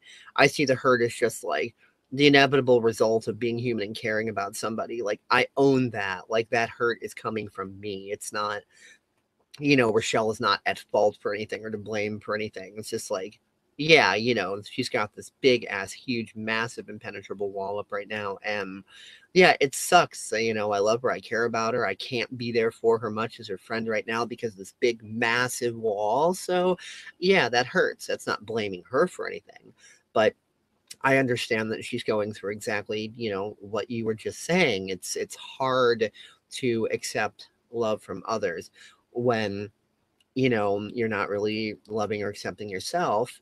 And I've also noticed that it, when someone is in that position, when you when you bombard them with a mountain of of, of en masse more love than they can possibly handle, then they start to drive themselves crazy to the point that their operating system crashes and then they remove the wall. And then because they've exceeded their required levels of suffering that they put on themselves they go okay okay i'm i'm open minded now to processing through these paradigms and to learn to stop hating myself i surrender i surrender but As indeed everybody who puts up a wall eventually has to. A wall is a defensive weapon. It's not an offensive one. Walls have no offensive capabilities, only defensive, and the, and so you just lay siege to a wall, and eventually it falls. you can build cannons and stuff into a wall but that's besides the point Yeah, totally besides the point. but yeah, I mean, but the whole thing is just like, in order for people to shift and into more positive things and work through things and let things go, they have a they have a misery crack requirement. They have a belief system inside of them that says, I have to get past X amount of suffering. It needs to in- intensify to a certain extent until I'm willing to to do something better to myself to you know to stop giving myself such a hard time i have to give myself the ultimate of a hard time. So one thing i've had to move out of out of judgment of because like seriously when we start to realize that love and compassion and all that like when it comes into collision with those paradigms the other person is suffering we start to feel guilty like should i withdraw my love and compassion and support? Because every time i give it to them i'm hurting them. No you're not hurting them they're hurting themselves. And what I've realized to kind of move out of my guilt of that, because I used to feel guilty about that, is that this is a requirement that they are putting on themselves. They they are stating, okay, in order for me to be willing to accept the help that I need, clear the paradigms that I need to clear, and to take it easy on myself, my misery crack requirements need to get to X. And if they never get to X, then I can never help myself. So this is a requirement that they are putting on themselves. So I know that's not my fault. So the only thing I can do is respect the requirement that they're putting on themselves and help them grant what they want by sending them so much love and so so much appreciation and so much contradiction that they can totally and completely rage against and suffer in that raging against it to the point that they meet their requirements so they can say to themselves okay that requirement is now fulfilled. I am ready to chill the fuck out and stop hurting myself. And that's definitely been my, you know, my experiences. And I'm sure we're, or excuse me, I'm sure Katerina can definitely act as living proof that, um, you know, this is what I had to do with her, and that, you know, it's the way things roll. I'm sure that she could. Is she not here? Oh, I'm here. I'm just on Facebook on my phone, and you guys were talking. Yeah. Talking about uh, responding to what you said and then directing it back at you again. right. I'm I'm actually a bit high right now, Dave. You're what? I'm a bit high right now, Oh, okay. so just letting you know. Okay, well, I was just ex- it's that. explaining how that, you know, um, you, Richelle, and others have a certain misery crack requirement that needs to be met in order to be able to start being more self accepting and stop abusing yourself. So the only thing I can do is respect that requirement and give you all the all the shows of love that I can't directly or indirectly anything I can do so that y'all can rebel against that and make yourself suffer so much to the point that you've met your misery crack requirement and then you're willing. Otherwise, if I don't do that, you'll never meet your requirement and then you'll suffer your whole life in misery and that would just suck. So I helped you through that That's one. pretty grim prognosis, my friend. Well, you know, so I was, I, what I was saying is that I helped you with that one. You've experienced that. I showed you so much love that it met your misery crack requirement. So now you're not abusing yourself anymore for the most part. But that's yeah.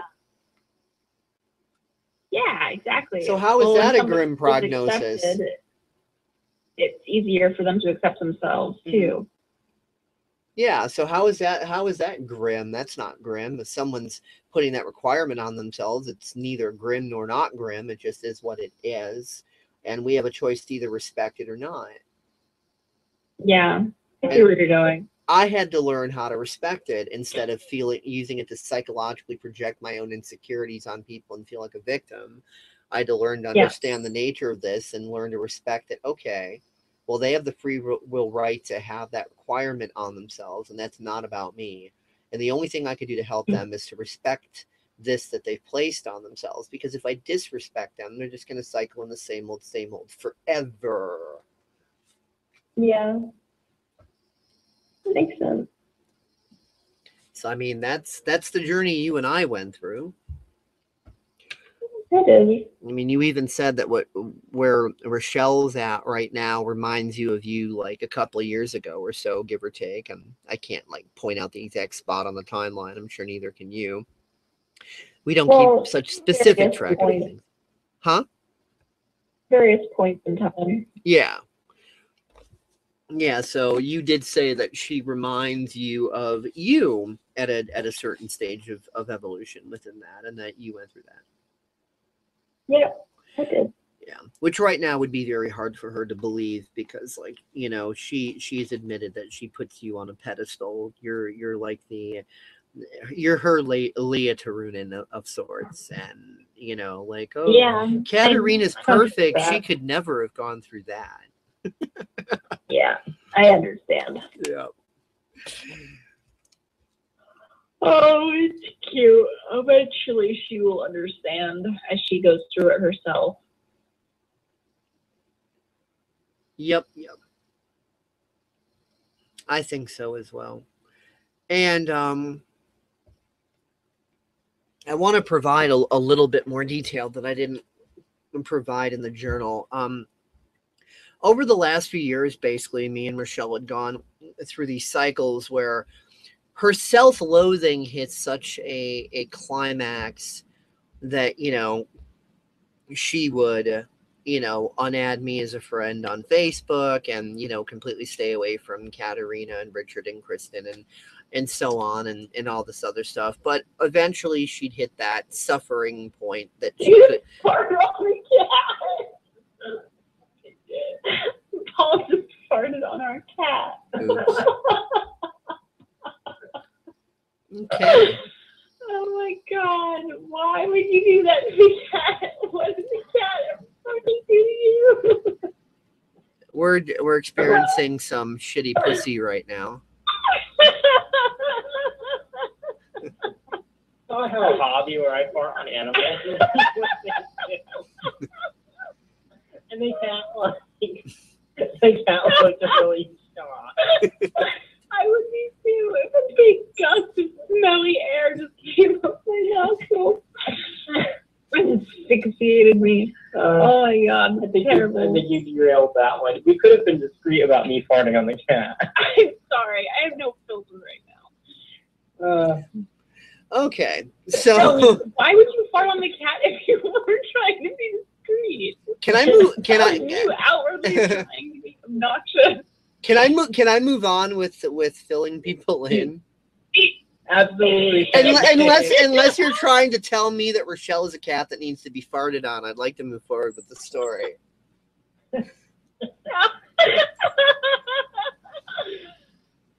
you should have heard the noise the cat made. Well, the other day, for the first time, I got to hear uh, hear what a pissed off frog sounds like.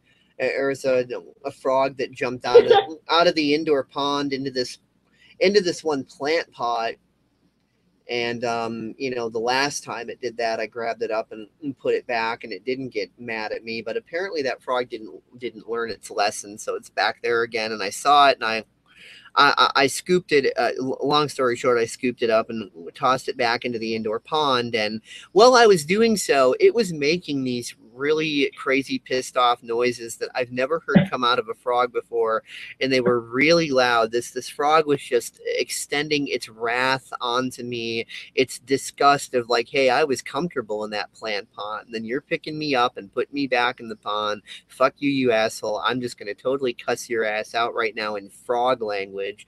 It reminded me of when when squirrels get mad. Yeah, you ever heard like when a squirrel gets mad, they make that crazy, obviously pissed off, like hard to duplicate squirrel tone. Like I'm not even gonna try to to mimic what that frog sounded like. It was crazy, but it was like pure wrath coming out of the vocal cords of that frog. That was like Dave, fuck you. Oh. Yeah. So mm, so anyway, um, speaking of of uh, the pure wrath coming out of beautiful creatures, moving on with uh, I was saying about Richelle. So, um, you know, she would hit the hit the point of self loathing. You know, to where she, you know, unads me and and distances herself from everybody. She would never like block me on DeviantArt or unadd me from Skype or anything like that. But um, you know, beyond that, she would just be like, you know, basically say, like, oh, I, I don't want to talk anymore. This is too much. I can't handle this, and blah, blah, blah.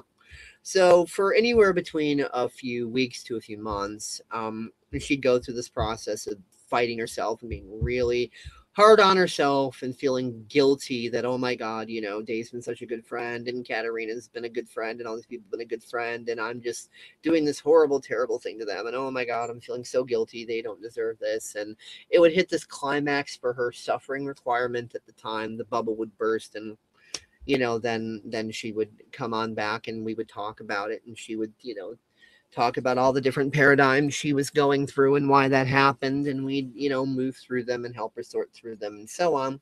Then she'd evolve to the next step and you know her every time she'd take an evolutionary jump you know her life circumstances around her would always get like a thousand percent better which would of course then trigger the fuck out of her for exactly you know what paul was explaining before that you know when you when you're in this self-loathing and then you receive the opposite and you're external you know your brain just crashes and goes crazy in the cognitive dissonance and ah so this has happened a few times but this time is the first time the first time that she's actually blocked me on DeviantArt.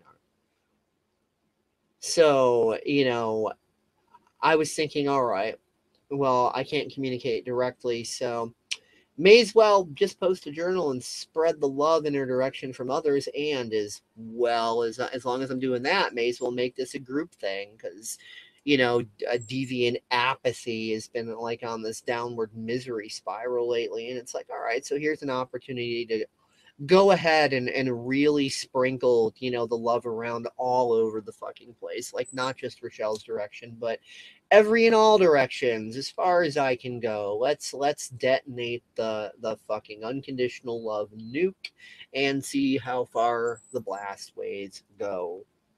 And um I was still at it on Skype until I decided to have a little fun and I changed my my Skype Skype status to be a cheerful giver. The game is on, and the game is on as a Sherlock reference. Like Sherlock is her like her favorite freaking you know show right now. So one of the things that you know her and I have discussed many times is like, you know, the idea of she's just like. Dave, you know why? Why are you such a good friend to me? Why are you so kind? Why are you so so giving? You know, what do you get get out of that? You know, she's like, I can see what I get out of it, but what do you get out of it? And, you know, just explaining that friendship is its own reward. And funny that, like, you know, it, after she does all this, like, you know, because uh, she goes to church every Sunday, so she gets to see that pastor in person. But he's been talking about these very things. He's the he's the one I'm quoting when I say, you know, be a cheerful giver. Um, as a matter of fact, I'd like to, to, take some of the content where he, he talks about that little clips and put it together and make it a PSEC episode. Probably will eventually. But, you know, just the idea that, you know, even as like what Jesus said, be thankful and appreciation, and what metaphysics and you know New Age say about positive thinking and state of being and being you know in the right vibration and all that.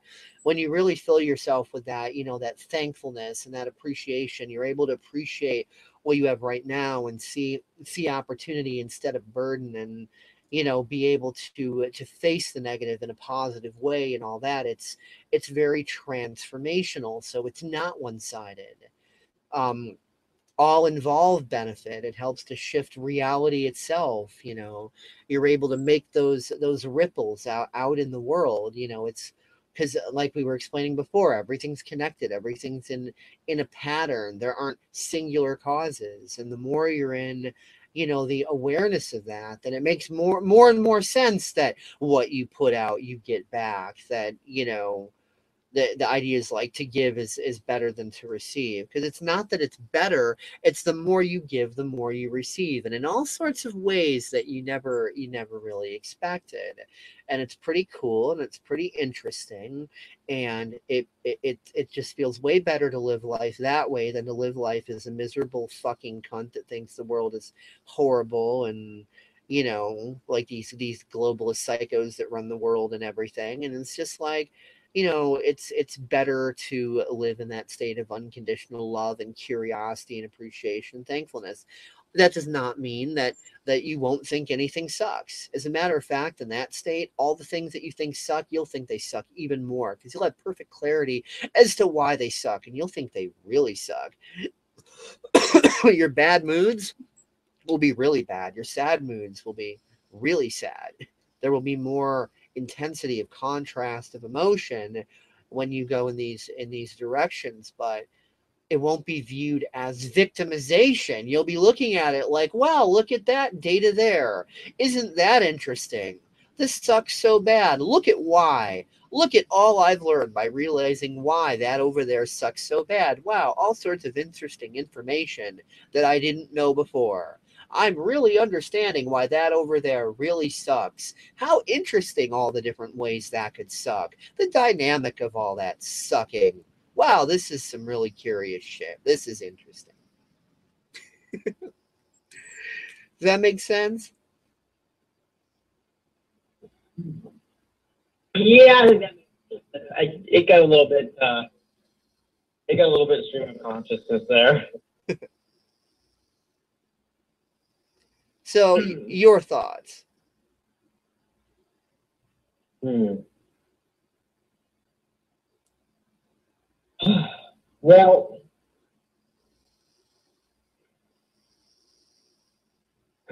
Well, by the way, if I didn't say so before, I, I forgot whether or not I mentioned mentioned this. But upon changing my my status message to something positive, um, Richelle blocked me on on Skype at that point, right when I did that, and I'm like, oh, that's interesting.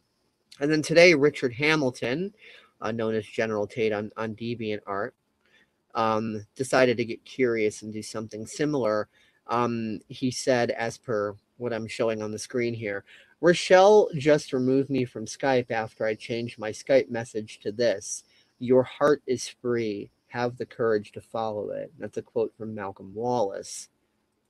So it's Mhm. it's interesting that that something positive like that, like you said, that collision, that cognitive dissonance, that just goes to show how much in self-loathing she currently is. That if Richard could just change his Skype status to an ultra positive quote, and her immediate trigger mechanism is to block him off of Skype as well, that really says it speaks a thousand words. It does, and it, shows that um, it, it shows that when you're insisting on being the victim there, that you perceive everybody else as being an attacker, and and simply just making putting a positive message on your on your Skype doesn't it, it doesn't mean that that that uh, that Richard was attacking her at all. It simply means that he was choosing to to put a positive message on there, regardless of what his intention was. She interpreted it through her own filters, through her own lenses. I actually And- don't think she viewed it as an attack. I mean, I know Richelle pretty well, and that's Mhm. and I don't think she would have viewed it as an attack. She would have viewed it as simply that represents something that I don't want to face right now. So I'm going to push that away. And right now, in my current mood, I'm going to push that away hard. Um, she's never viewed those things as an attack. So I just want to, I know her well enough to be able to to kind of say that on her behalf. She she never views these types of things as an attack on her. That's not the filter that that's running for her when those sorts of things happen it's it's annoying for her when it happens it's like oh man you know i'm i'm i'm getting shown my worthiness and i don't want to look at that right now because i just want to feel justified in my sense of unworthiness and no that's annoying get it out of my face it's like the swatting at the proverbial fly it's not like that mm. that fly is launching a nuclear assault on me. I must march out and genocide against all flies. It's just you know, it's it's not to that extreme. It's just the swatting of the proverbial fly. So I don't think she took it as an offense or an attack. I know her well enough to be able to say that. But she definitely did take it as, oh God, something I don't want to look at. Get it away. I understand. That you know, like, oh, if that's saying that now, what else is it going to say in the future that I really don't want to look at? So it's more like her saying, "Yeah, Richard, message received, and fuck you." it's like I know what you're trying to do there. You're trying to you're you're trying to to get me to face my own malware here, and I, I don't want to do that. So like, fuck you you know she didn't take that as an attack she she just her uh, her just like when she blocked me in in response to that it's like it's just her message to us saying i understand what you're trying to do and i ain't in the fucking mood mm-hmm. And you know what that's that's her, that's her right to not be in the fucking mood yep and uh, and and and when you when you just sort of accept that, that is going to continue to trigger her also. Oh yeah, yeah, totally, totally. Because when you accept that and you're becoming that, then you're acting in that direction. So you're going to have action, mm-hmm. your actions and inactions changed, you know, to you know, away from what they might have otherwise been in past paradigms and what she might be used to. So, obviously, in situations like this, I can definitely say for a fact that she's been used to like you know if she were to um, if she were to push someone away that they would be be mad and angry and viewing that as oh richelle just did something naughty to me and then their other they tell their other friends and then that those friends would gang up on her like oh and then she's got all these people saying Richelle has been a naughty girl, shame on her, etc. And the totally the opposite of what she had been used to is happening right now. So there's this massive collision. And um, anyone watching this, if they go to Richelle's DeviantArt profile, there are all sorts of people that have added her to watch and posted all sorts of lovely, inspiring, truthful comments and, you know, on her main page and on her various artworks and so on and so forth.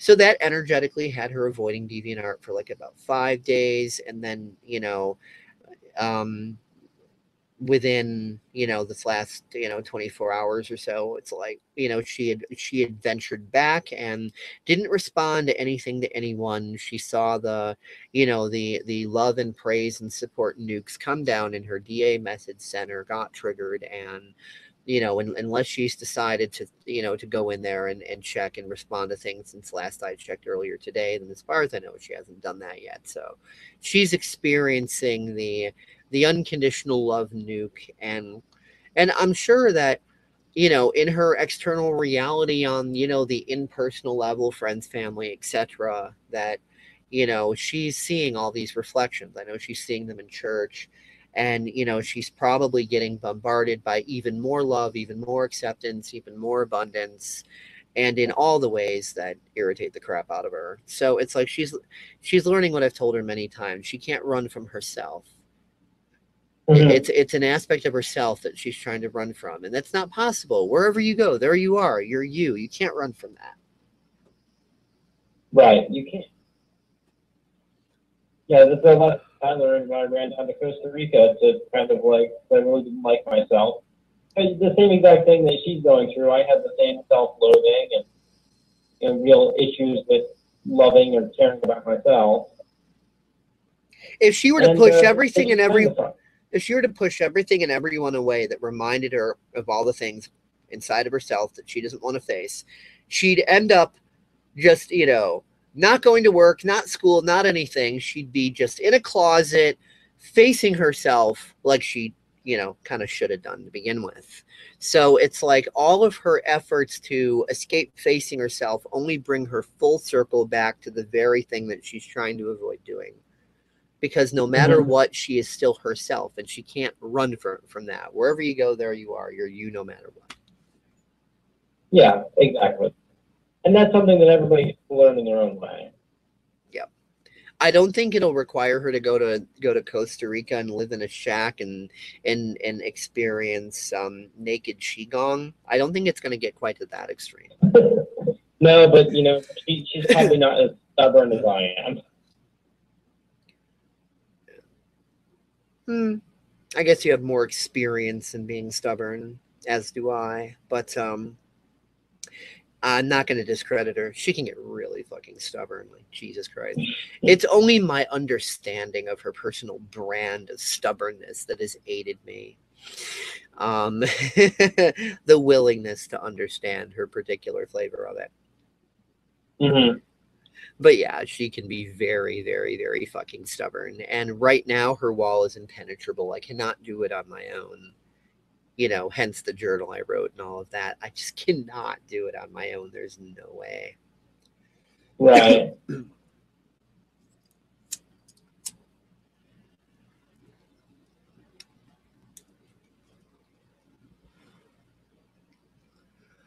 Yeah, and um within everything that's been like culminating all the contrasts and stuff, I know you just recently got a, a new great excellent job, a dream job that you know you're gonna be I'll just say you're gonna be making six figures with that. And it's a really laid back job and where you can be yourself and do what you love and you know you just recently entered that and because it's at an at an art you know sales place or whatever katerina's got opportunities to get her art in their gallery and all this wonderful stuff is is you know um happening for you guys while simultaneously the cubs are winning the world series and, and just like all this stuff that's culminating. And then there's you know the the political contrast on the other end wikileaks coming out with all sorts of information that the elites don't want out and the various uh, political global elites throwing each other under the bus and stabbing themselves in the back like like you said about progressives you know they they, they end up eating their own. Um so you know we see a lot of that happening. And so we see a lot of people you know looking at this and and starting to open up and face themselves more and make a, a lot of realizations that they they hadn't made. And I, i'm even seeing this reflected on on television um as far as television shows. Like i i watch a lot of different very paradigm shifting shows um one of them is called the flash and i made a little a little image graphic that you know um describes this particular scene in the flash and there's a little screen capture there and stuff. Barry allen explains everyone's deepest fear. He says you're right it's me it's my problem. I've just been feeling nervous about this new dynamic i have everything that i've ever wanted right now and i've never had that in my life and in a lot of ways it's more scary than having nothing because it's easier to fail than to succeed. And I really want to succeed. And I close that out with fear of success through addiction to failure. We can't defend our failure based beliefs about reality if we're proving ourselves wrong through our own successes. That's a fact. And that's the self sabotage mechanism right fucking there. Mhm. So I was really impressed when I aligned with this and was watching this. I'm like, oh yeah, no coincidence there, right? just like, you know, Barry Allen, the Flash, he just, you know, hits it like uh, nail right on the fucking head. Just completely accurate, completely appropriate for the issues that people are facing right now. Totally. yeah. and I, on DeviantArt, I've I've been dealing with some you know a bunch of old paradigmers that they're learning to be more calm. They're uh, they- seem to be learning to discuss things rather than like "fuck you, you're wrong" and go to hell and whatever. Um, I I also um something I- I made um recently. I took a pic, you know, well, I didn't like literally take this picture, but I found it on Google. Um, there's a picture of a a cat with like this WTF face, like, oh my god, WTF, what's happening here? And um I put the following text to it. I didn't fart on it though, but I, I put the following text to it. We don't eat healthy, we don't take care of ourselves. Then we poison the air, we poison the water, we poison the land. As a result, we end up with diseases and disorders that are the symptoms of this poisoning and malnutrition. Then we take more poisons to try to mask the symptoms of being poisoned. Then we take even more poisons to mask the symptoms of the poisons we've taken to mask the symptoms of being poisoned. Then we become depressed about all the poisoning. So instead of facing our emotions, we take yet even more poisons to avoid facing ourselves. then, yet again, even more poisons to mask the symptoms of the poisons that we've taken because we don't want to face our emotions about how we've taken poisons to mask the symptoms of the poisons that we've taken to mask the symptoms of being poisoned. Then we call this normal and rational. And anyone who does not agree, we say they are anti health. Hmm. yeah. Yeah, I mean, I just like had to fucking say that shit like it is right there. That's I'm not quoting anybody with that. That's all me. I've just been, you know, Mhm. looking at things as they've been and just, you know, just shaking my head and just that came out. Just like, yeah. You know, that's that's what the fuck people are locked into and it's completely fucking ridiculous. Right. then of course there's some little art pieces and stuff that i that i did put up here you know uh whatever i'm gonna like on, i gotta switch views i'm gonna go from featured to all so i can see exactly what is the most recent um some other stuff that i've done over over the last month just to kind of express my feelings you know not only um, you know, about the situation with Richelle, but you know, things that are have just been, you know, going on all around in life in general. Everybody, the geopolitical stage, freaking everything. Um, there's one I did that says people are always trying to run, to move forward, to move on. But there is a difference between moving on and letting go. If you do not let go, then what you seek to move on from will remain with you no matter how hard you try to run. There is nothing and no one on the external that you can run from when the problem is internal. And that's just me Mhm. me quoting me on that one, just me kind of venting. Yeah.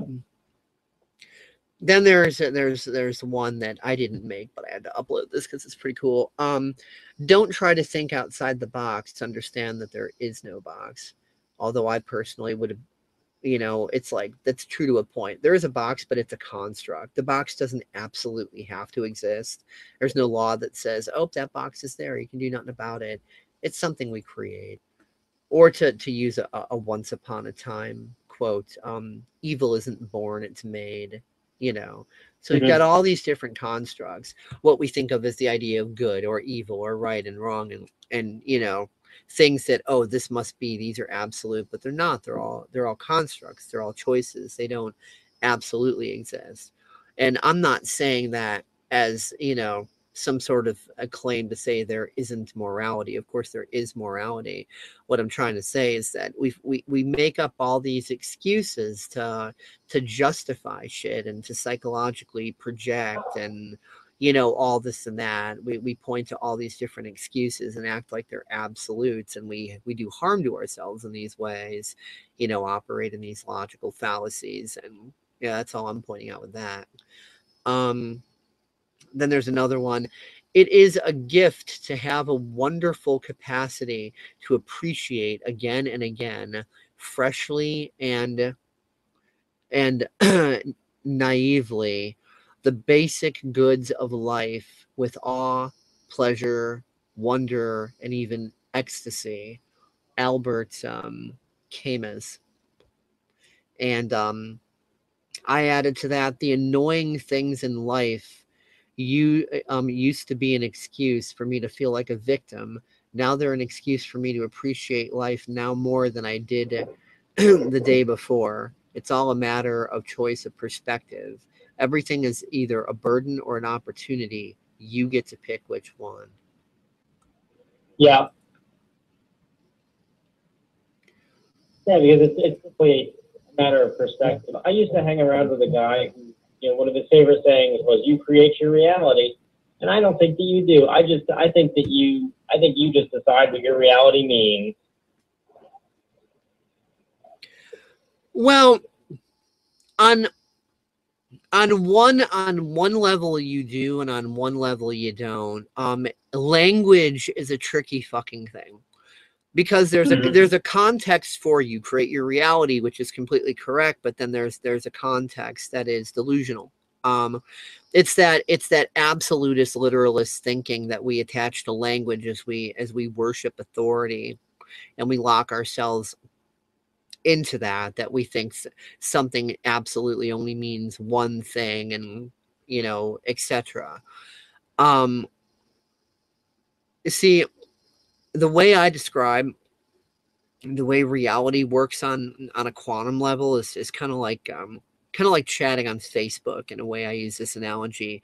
Let's say you're in a chat with someone on Facebook and you're both sitting there thinking you're chatting on Facebook, but that's actually um really not what you're doing. You're not having the singular experience called chatting on Facebook because Facebook is a server from which content is being pulled and going through. So that's one point. There are three total points. That central point of convergence called facebook.com. And then there's your computer, and then there's their computer. And you and the Mm. other person are pulling a copy of that content down. And you each have different makes and models of computers, different operating systems, different screen rev- resolutions, perhaps different browsers, and so on. And when you change the settings on your computer to make things look different for you, it doesn't necessarily change the other person's because, like, you know, if I change my screen resolution right now or whatever, that's not going to do anything to your computer, right? It's got nothing mm-hmm. nothing to do with it. Or if I install some sort of Firefox plugin that's going to like change the size or the color or whatever of the text on the screen, that changes for me, not you the only Yeah. thing the only thing that is co-agreed upon co-created and, and co-shared it's just that when i speak those words uh, end up on your screen just as well as mine and vice versa but other than that we each have a separate reality which we then create Mm-hmm. because and you know again if i change the screen resolution in my reality my computer that doesn't affect you in your reality your computer because all we've done is we've pulled we've each pulled our own copy of the co-created reality into our separate realities but each of us have a separate reality that's the way physical reality works because it's holographic it's energetic. This thing you think is one physical reality that everybody shares that's not the case at all.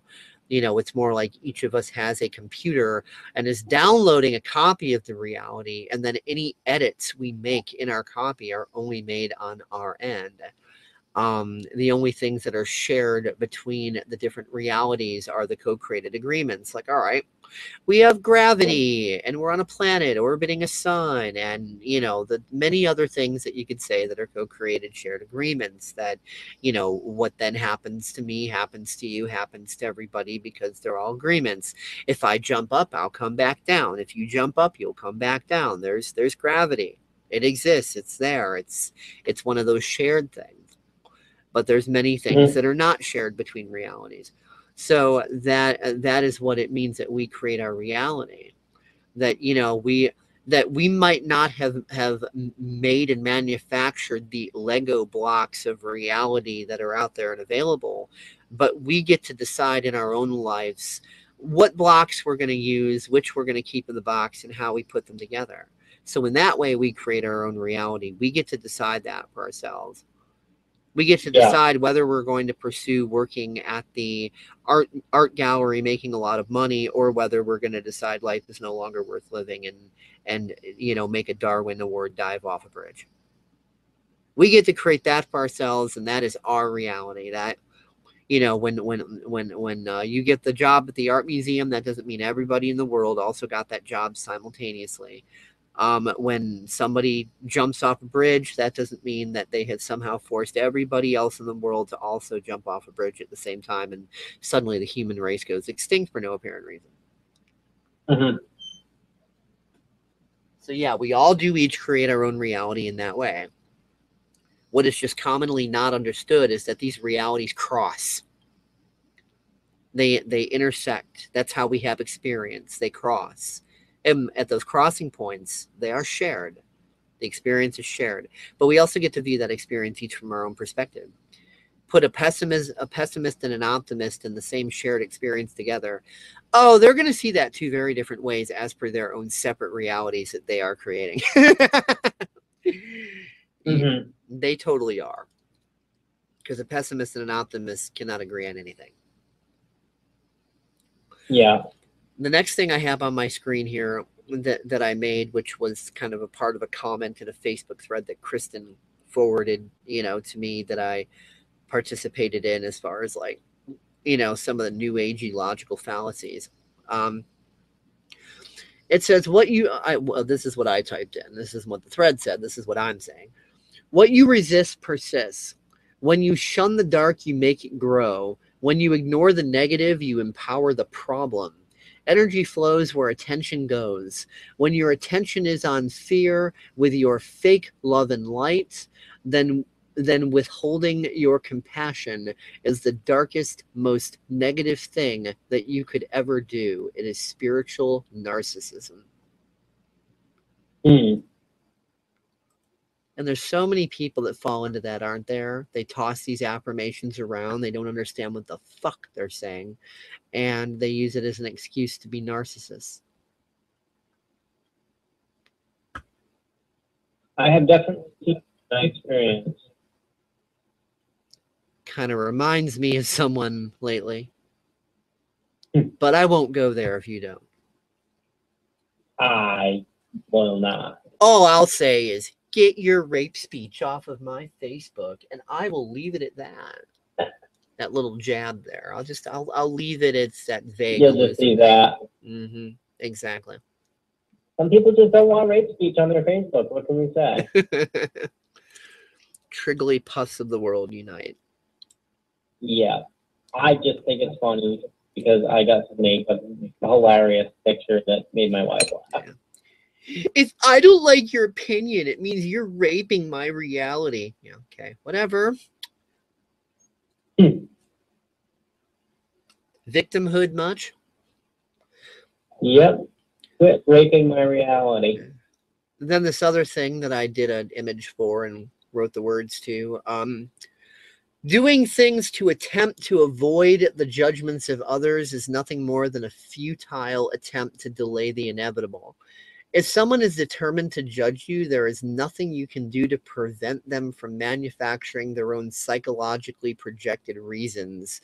So just be yourself. At least that way, the people who have decided they are not going to judge you can know you exist. Hmm. And that's not any quote from anyone other than me. That was just me yet again doing a short little rant because I'm just had been looking at the world and doing a few face palms there and just, you know, that kind of came out. Right. And then here's one that I didn't like personally make. It's one one I found, but it definitely reminds me of the things um, Richelle is going through. Our culture has accepted two huge lies. The first is that if you disagree with someone's lifestyle, you must fear or hate them. The second is that to love someone means you agree with everything they believe or do. Both are nonsense. You don't have to compromise convictions to be compassionate. And that's kind of exactly Mhm. the the dilemma that Richelle's facing. Like her own self-loathing is making her think that like, oh, if if I don't agree with with you know my parents and certain friends and this and that and etc you know uh, whoever exactly the specific people are that she's projecting onto with this um then if if i don't agree with them they are going to fear or hate me. Their their wrath are, is going to come down on me their love is going to be withdrawn oh woe is me and you know the same for you know agreeing with everything they believe or do like oh if i don't at least act as if i uh, i agree and believe with every little thing they say about everything their love is going to be withdrawn and their wrath is going to come down on me and oh woe is me and etc and i find that uh, you know the people that richelle is in fear of this happening with i mean i at least know enough to to know that i can say i find that highly unlikely I, I don't think any of these people are going to, you know, cast her out or spew venom at her for simply having, you know, differences of, of, of opinion on some things. I mean, geez, you know. Um, and there's an, another thing that I made here too. If you wish to know if someone is truly your friend, please consider this. Imagine a tree Imagine that this tree genuinely is a tree and is not an elephant pretending to be a tree as a part of some elaborate deception. no matter how much you yell at the tree, hit the tree, or drive nails into the tree, you cannot force the tree to turn back into an elephant because it was never an elephant in the first place. When someone is genuinely your friend, you can say as many cruel things to them as you want in an attempt to get them to prove that they were never your friend in the first place and it was all just some elaborate deception. And all you will accomplish is hurting a true friend who still won't stop loving you no matter how many cruel things you say to them. It hurts because they love you and it's not a switch they can turn off or that you can force them to turn off. They will always be your friend they just can't force you to always be their friend. They take the risk with you knowing this fully. They cannot do otherwise. They can only do their best to learn to be at peace with the fact that the only thing they have control over is themselves. Yep. And that's just a part of my personal journey that I'm sharing. And obviously, Richelle has put that square in my face, and that's why I wrote it. I'm not going to deny that. Hmm. That's really that's something that you taught me a lot of, um, you know, via Katerina when she talks about how how um, you have unconditionally been a friend to her, and how how it's really positively impacted her life because it taught her what friends are and do.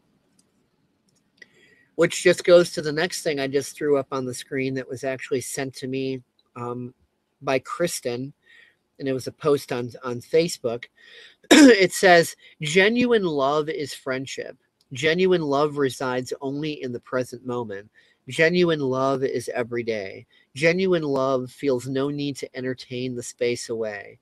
Genuine love is up. Genuine love is down, and yet genuine love never wavers."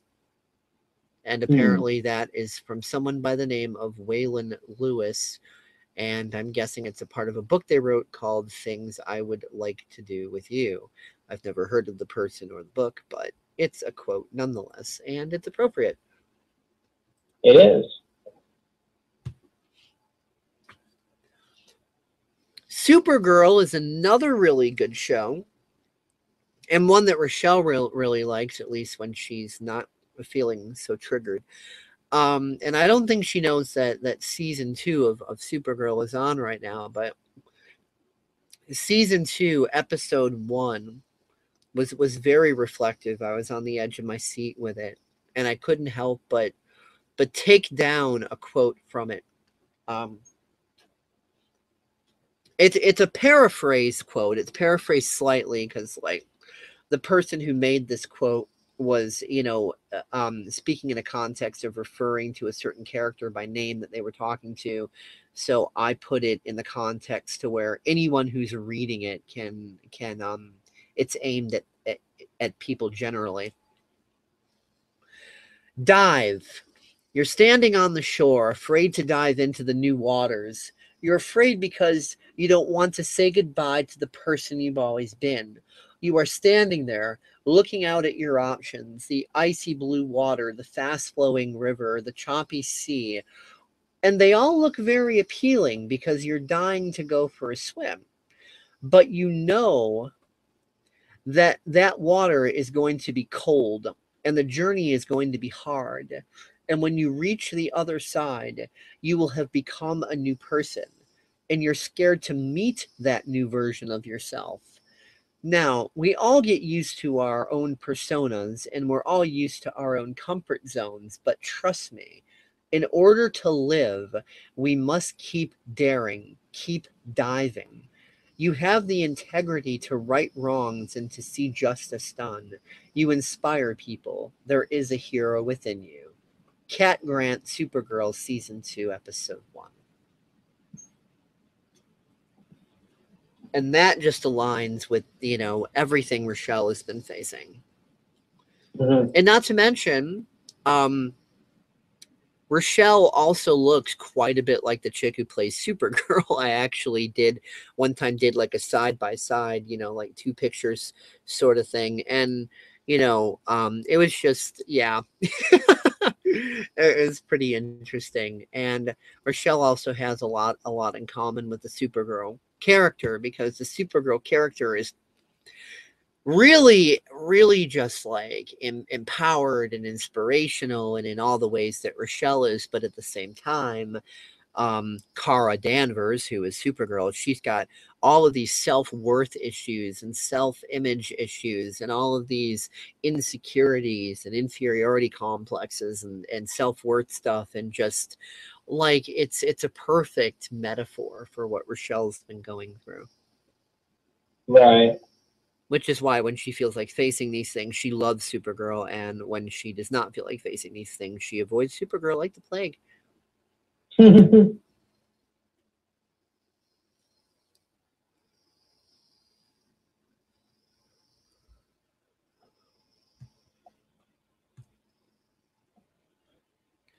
And you know, there's some other ones I did. Dichotomy disrespects and otherwise sabotages the process of beneficial recovery.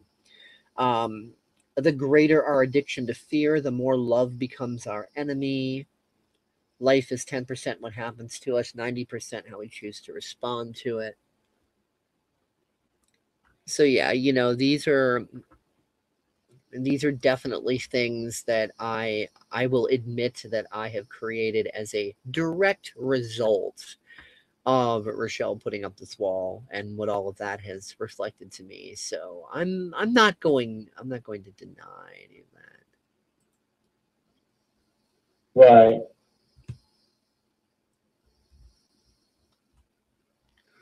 So yeah, it's been it's been a pretty interesting month and you know there's there's been a lot I personally have been shifting through and becoming aware of and um, a lot that as I clear stuff, I've also been getting more stuff done around here and things have been going more and more smoother around here.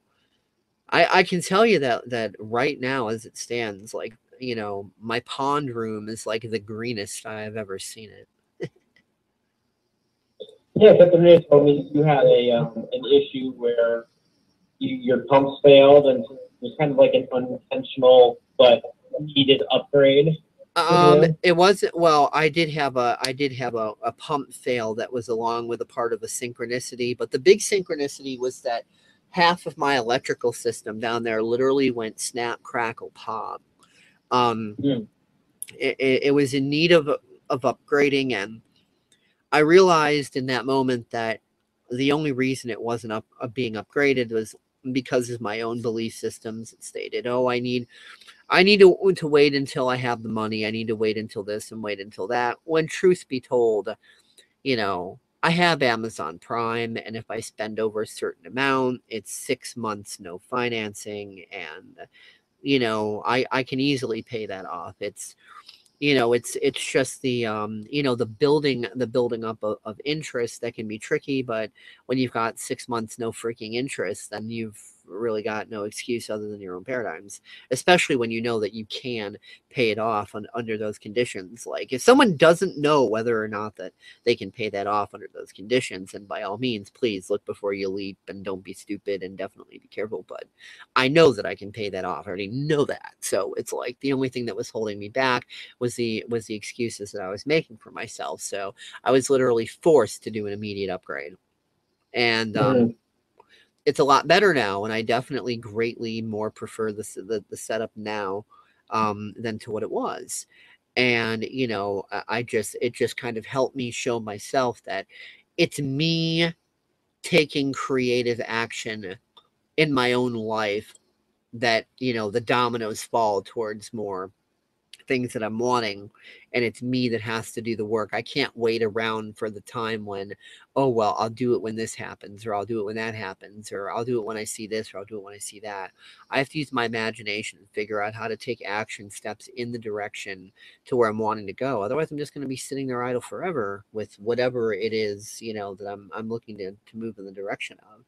So that's been like one big reflection to me. So like you know god the universe whatever you want to call it just honored my belief systems because my belief systems similarly to richelle's they see we have these things in common we're like oh well i have to reach a certain point of circumstantial misery in order to be willing to do a forward shift into uh, more productive thinking and more productive results. So similarly to richelle that requirement needed to be met and that requirement was met through half my electrical system going snap crackle pop in the pawn room Right. I had to replace it and in a very big hurry. So, you know, overnight delivery, all that good stuff, blah, blah, blah. Um, but yeah. But that's what I required of myself in order to learn that lesson. And my requirements were simply being respected by God, the universe, by quantum physics, by whatever English language word anybody wants to use.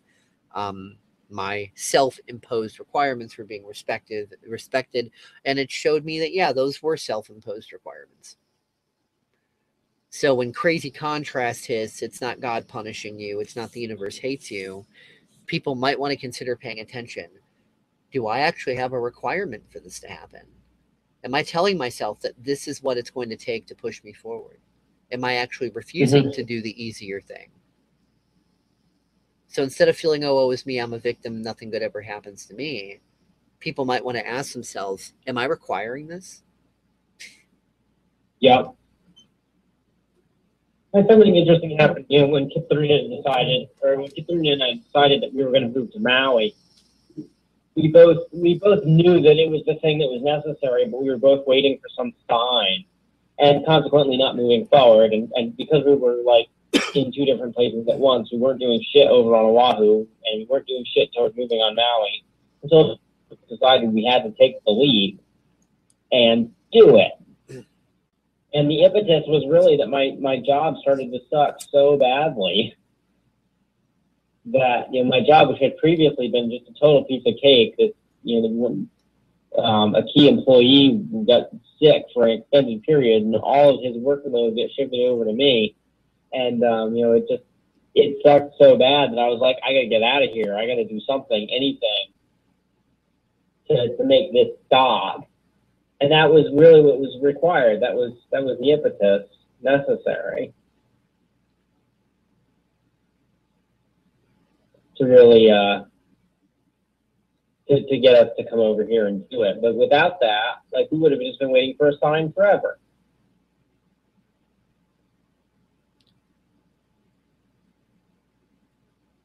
Yeah. Definitely.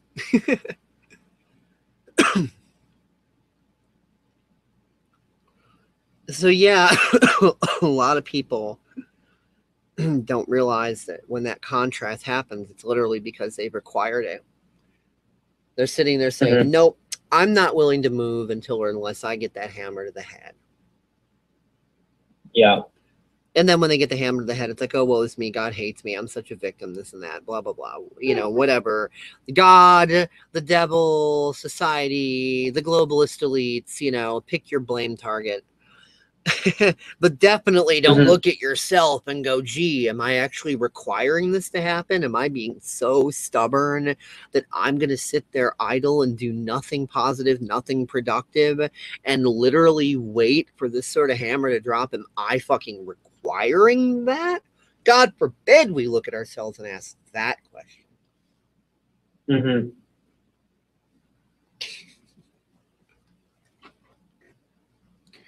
So yeah, we've all been run through the wringer lately. Me, you, Katerina, Richelle, Richard's been run through the wringer lately. Kristen's been run through the wringer lately. Everyone's been getting run through the wringer lately. Like this is like the time of really being run through the wringer, and it's so appropriate. The positive contrast collectively. Cubs win World Series, yay! Hell froze over. That one dude does not, wouldn't have had to worry either way. But um, you know, aligned with the contrast of, you know, this is um the the um 2016 circus as far as being an election year. and Mhm. we're really, you know, we're we're really close up on on the elections to where either Trump is going to figure out a way to get a, around the electoral college where Wall Street always picks you know, the new mafia don to run this corporation of the United States of America, Inc., or that Hillary is definitely going to get it no matter how many votes, fake votes she steals from dead people and how many bodies she leaves in her wake and how absolutely obvious the whole thing is that she's still going to get it because the Wall Street overlords have deemed it as such. Um, so it's going to be interesting to see whether or not we've made enough shifts that a monkey wrench can be put in the electoral college scam to actually have a fair election. Um, now, I'm not I'm I'm not for or against Trump. I'm looking at it from the premise of will this be the first time ever that the election's actually been fair? Or will it be the usual same old same old rigging that is always done? Because people don't realize when two candidates compete, because it's always Wall Street that selects the new mafia don overlord, that all of the all of the election campaigns are about. They're not really election campaigns. It's more like two employees that are fighting for the same position. So they're doing a combination of kissing the boss's ass and throwing each other under the bus. And whoever can get kiss the boss's ass the best and throw the other guy under the bus the most efficiently, they get the position. So it's the, it's the corporate structure. That's literally all that goes on with election campaigns. That's all it ever is. People don't realize it. because think about it to run for for most positions within uh, elections whether it's president or senators or or whatever the case may be you have to have you know practically more money than god in order to even campaign. And the only way to get that is through wall street. So if you're getting that through wall street then who are your loyalties beholden to? There's no way for the average person to to go and run. I mean you know, there's the old adage that it, you know anybody who is qualified for the position wouldn't want it in the first place because it being what it is. You know, there are people who sometimes make the shifts of, yeah, I don't want it, and it sucks, but you know, if I if I could run, I would because I I want to try to make to make the positive change, even though I don't want to rule over anybody and the system's totally scummy. I I would like to at least try to see what I can do those people can never even get on the ballot. Those people eh, never stand a chance in hell because they don't have the Wall Street backing to do the campaigning. And if they did have Mhm. Wall Street backing, they wouldn't be able to do what they're setting out to do in the first place because they would be holden to the bribery and blackmail simultaneously of their Wall Street masters who, who put them on the campaign trail, not beholden to the people. The political system's like a pool of diarrhea. Doesn't matter who you are black, white, rich, poor, saint, or devil if you jump into that pool, you're going to be covered in shit.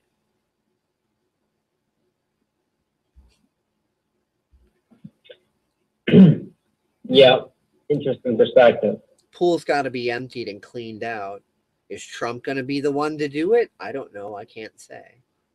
I mean, I'm glad mm-hmm. that that Trump in the news media has revealed a lot of things to such as the point that there's certain topics we can actually discuss generally now that like before nobody wanted to discuss it or face it or anything like oh you're a conspiracy nut we can't talk about that whatever we're not going to go there i don't want to see that but now because trump has discussed all these things whether you like trump hate trump or are impartial trump is now a permission slip to be able to openly discuss those things without feeling like you're violating some sort of taboo. Mm-hmm. So Trump has done that service. And regardless of whether or not Trump can win fairly in a fair election or the Selectoral College does its usual thing, Trump is not exactly going to be shutting down his voice after that point he's still going to be speaking and people are still going to be listening. And that I think is more important than winning an election or not. Because everything he's saying, no matter how crude, rude, and disrespectful he phrases it, is making people think. So whether you like or dislike Trump or have no opinion, he's still making everybody think in unprecedented ways. So I want him to keep doing that well beyond 2016. Yeah. What are your thoughts? Oh, I think that uh, he's a very interesting candidate. I've, I've never particularly liked him, even when you know long long ago I, I thought he was a bit of a narcissist. Um, but you know what? Like to be frank, it's it's refreshing to see that there's somebody who is so anti-establishment who's getting so much traction. Now, dictators always rise to power by pretending to be anti establishment because all they really are is anti the current establishment. They want to run their own totalitarian regime. But what I like is he's he's the first in history to actually address the issues rather than pretend to address the issues because all tyrants kind of pretend to address the issues. There's no deep digging. It's all lip service. They all they all say what the people want to hear, but they never dig into the uncomfortable, dirty details. Um, and Trump digs into those, and that's why half of everybody who hears him is highly offended. Oh my God, Trump said that. Oh, Wall Street's responsible for ISIS. He said that. Oh my God, he's saying that that that Obama and Hillary are in league with that. Oh my God, how terrible. Ooh, and and no dictator ever trying to ri- rise to power has ever been so blunt about so many things. Plus, um, Trump admits his own level of scumbaggery, which is also why he's hard hard to shoot down someone will come at Trump and say, "Oh yeah, but this and this and this," and Trump's like, "Yeah, so I don't deny that, but you all do the same thing." So pot kettle black. Right. And they don't know. Yeah, how, it's, it's very interesting. yeah, they don't know how to respond to that. And How then, can you? and then they're so desperate they make shit up about Trump. Like here, Which is hilarious because a caricature of himself. Yeah. Like one of my like one of my personal favorites is the allegations that Trump supposedly said that all Muslims need ID badges, like you know, like like the Jews in Nazi Germany and all that. And Trump never said it, and if he did say it, it was like behind closed doors, and there's no proof. Um, the the only reference to, uh, to anything like that is there was a text interview that Yahoo News did and supposedly Trump said that they put that in there, but it's like text doesn't prove anything. I could write text that supposedly Paul Roy said that he was molesting chimpanzees down in Costa Rica. Typing the text doesn't make it true. So when people are all get all on that bandwagon, they usually don't even know that it was just a text interview and that any that text can be manipulated any which way. and I tell these people, look, I'm not looking to side with Trump or be against Trump. I'd just like to know the truth. So if you could find me some video where he actually said it And long video, not a short, tiny clip that can be taken out of context, but long run video to where I could see the full context and see that he actually did say that, then I'll be forced to look at that and go, okay, that was the truth of the matter. He really did say that, and that's kind of a problem, and I'm not I'm not really liking that too much. But hearsay is not evidence. Mm-hmm. And these these people, they get so upset with me because I'm having the audacity to to insist upon evidence instead of blindly believing them. I'm just like, hey, you can get as mad as you want. I'm not going to blindly blindly believe something just because you think that I should. Um, I'm going to insist upon evidence, and I'm happy to review evidence and whatever the whatever the truth is according to evidence is, and okay, and and whatever, fine. If it can something can be proven, cool. It can be it can be proven. I'm not going to argue it or dispute it. But if someone's just saying because I said so because unicorns and I hate Trump, that's not evidence. Okay. And with the internet now, you have a plethora of ability to get evidence. So there's no excuse for not having it or providing it. Yeah. And then whenever these people try to look like they, they, they assume there has to be evidence somewhere. So because of what I say, then they bother to actually check, and all they find is that text article from Yahoo. And there's Mhm. no there's no visual, audio visual evidence. There's nothing that proves that he said it. Now, evident uh, Yeah. now, um, absence of evidence is not evidence of absence. So I can't say he didn't say it. I just can't say he did say it. There's no evidence in either direction. Mm-hmm. So I can't say one way or another. So the people that are trying to say one way or another, I'm just like, well, can I get some proof of that? Yeah, they can't either.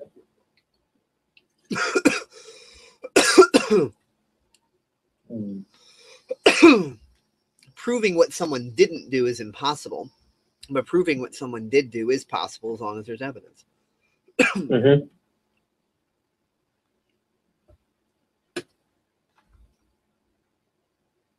No one can prove that someone didn't ever say something, but if something someone said is is captured in in evidence, then it can be proven with that that they said it.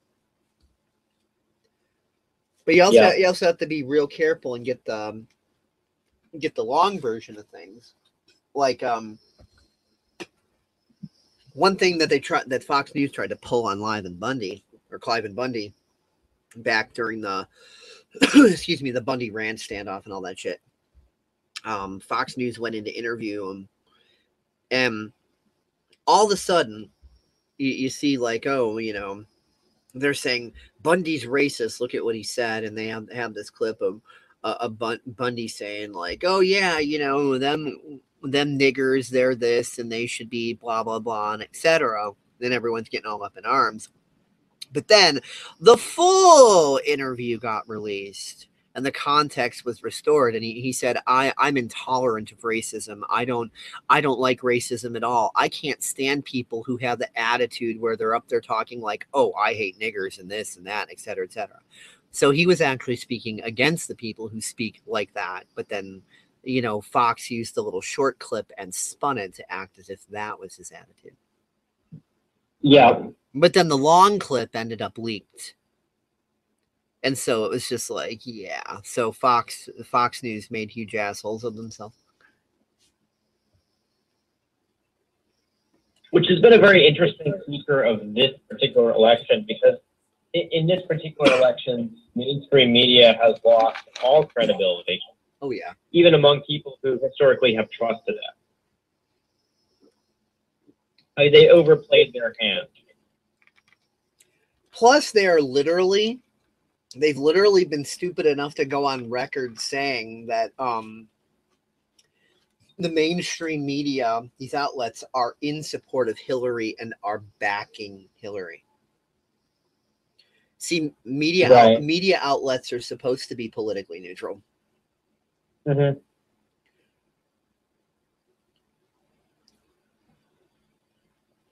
So yeah, that just goes to show that they're willing to do anything to support Hillary, and it's not even simply a matter of their opinion is they like Hillary. They've they've admitted that they're getting money from the from the Clinton Foundation. That they're getting lots of bribe money in order to support Hillary. Yeah, they- they're literally on record. They've literally been dumb enough to admit it. Mm-hmm.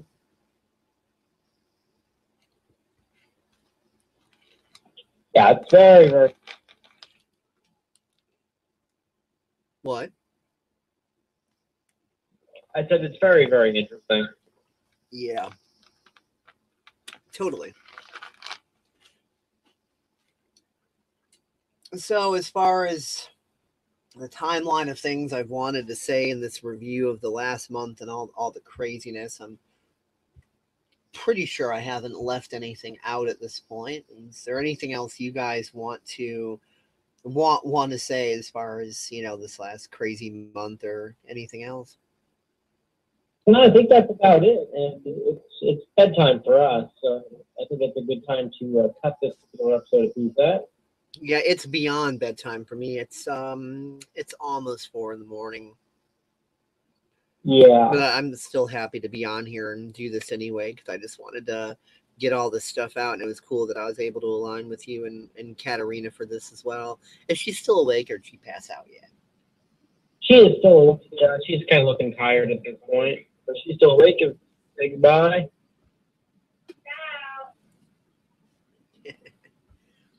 She Katar- says peace out. yeah. Katerina, anything you want to add before we close out?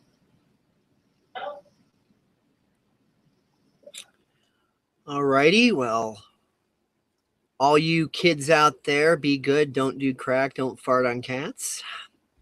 do, do as we don't do. Yeah, yeah, there we go. Um, so hope everybody has enjoyed this and found this insightful. I am, of course, going to be adding this video at the bottom of the, you know, where did the love go um, deviant art journal there, seeing as we we covered a lot of that in there. So I think it would it would be good to you know to add that in.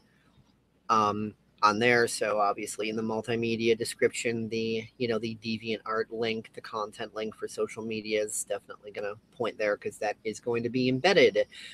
Um, so for those watching on YouTube, obviously it takes me a little bit to totally fill out all the details for everywhere things go up on social media. So if you don't see the journal link on there yet at the time you're watching this, you know, wait a little bit, it'll get there. I'll add it up there. Or you can just go to paradigm-shifting.deviantart.com, check my journals and see where the thing says where did the love go and click in there and boom and you can get to that. Um, you can get to Katerina's uh, website, um, katerinaroy.com. And um, Paul's website is pauljroy.com, I think. Uh, you could, but uh, it's actually closed down right now. It's Ah. undergoing a, uh, a redo as I'm refocusing on what I like to like to talk about. And you and Katerina also go to our also have a you brand new joint website, which is far more entertaining, which is moneypowersex.org. exactly what I was about to about to cue you here for because I know that you guys have a new joint YouTube channel. Like Paul, I know you run like two YouTube channels of your own. You got a Paul Roy channel, and you've got a, a, a, a nine to five and a live, whatever that one was. And Katerina's got, you know, her own. But now you both have a a joint channel. which is, I dare say, a lot more fun. Yeah, so definitely the thing that we're really working on and putting money or uh, effort into right now is money power sex because well that's what people want more of is money power sex. Or shall we say what people want to understand more of and get out of the dichotomies to not you know repeat all the same mistakes of, of, of the past which is which is also what the the the by the book series at, at richelle's church is is uh, focusing on right now as well. It's interesting how much in parallel you guys suddenly are with that seeing as neither of you knew that west bowles church was having um, that particular sermon series right now and here you are creating a new YouTube channel and website based on exactly the stuff that they are talking about. So, more evidence of that quantum fractal in action there. That's pretty fucking cool and crazy. Yes, it is. Totally in alignment. Yep. So yeah, that's what we got. Alrighty, so everybody go ahead and, and check out the website there, and and I'm sure that um that their their their videos are on there. Your, your videos are on your website, right? Yeah, we have uh, blog posts on there, and I've been just uploading the videos to the website, which basically just links to YouTube because I don't want to post random videos. Yeah. So the point is, is through the website you can get to the YouTube channel. That's my point. Exactly. And we have a Facebook page, the Money Power Sex page. It's Yeah, let's yeah, let's seeing it as I'm in screen share mode. I'm I'm just gonna I'm gonna demonstrate that right now. Anyway, um, the my, uh, there we go. It's coming up right there.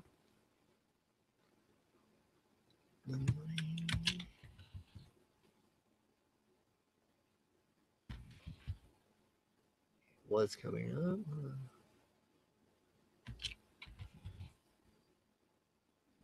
There it is.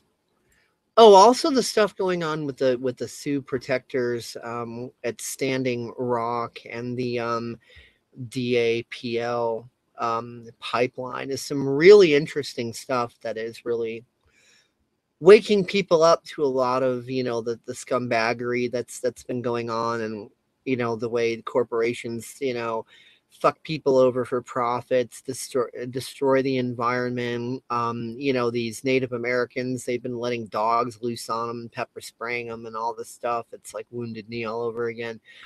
So, you know, there's just like all this crazy stuff going on for humanity to really face these issues and ask themselves the question, do we do we really want to do things as as humanity's always been doing it or would we uh, would we prefer um, to do things maybe in in a bit of a, a better way Mhm.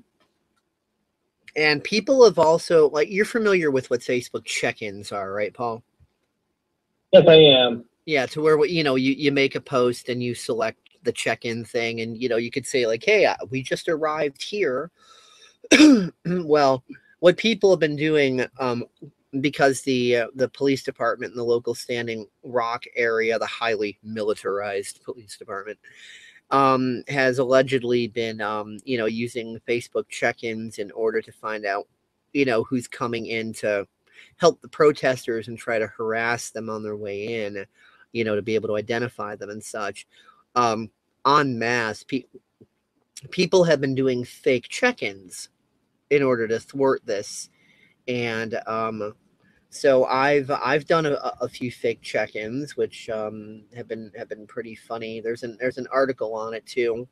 Here's why everyone on facebook is checking into standing rock north dakota. And i shared that as you know a safe and legal way to have fun screwing with the totalitarian police state. No no laws broken.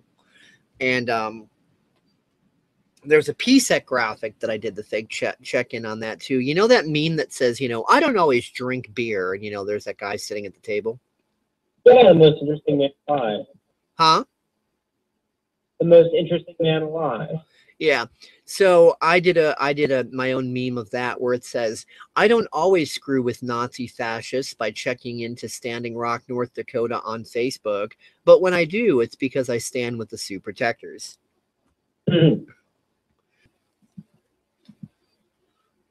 Yeah, so I guess we can just like totally close that out now. Because I think we are done with this hangout. All righty. Well, it's really good talking to you, Dave. You as well. Yeah. Have a very good night. You also, and um, I hope everybody out there in YouTube land also has a good night as well, or day, or whatever it is on their part of the planet. And peace out. I'm stopping the broadcast.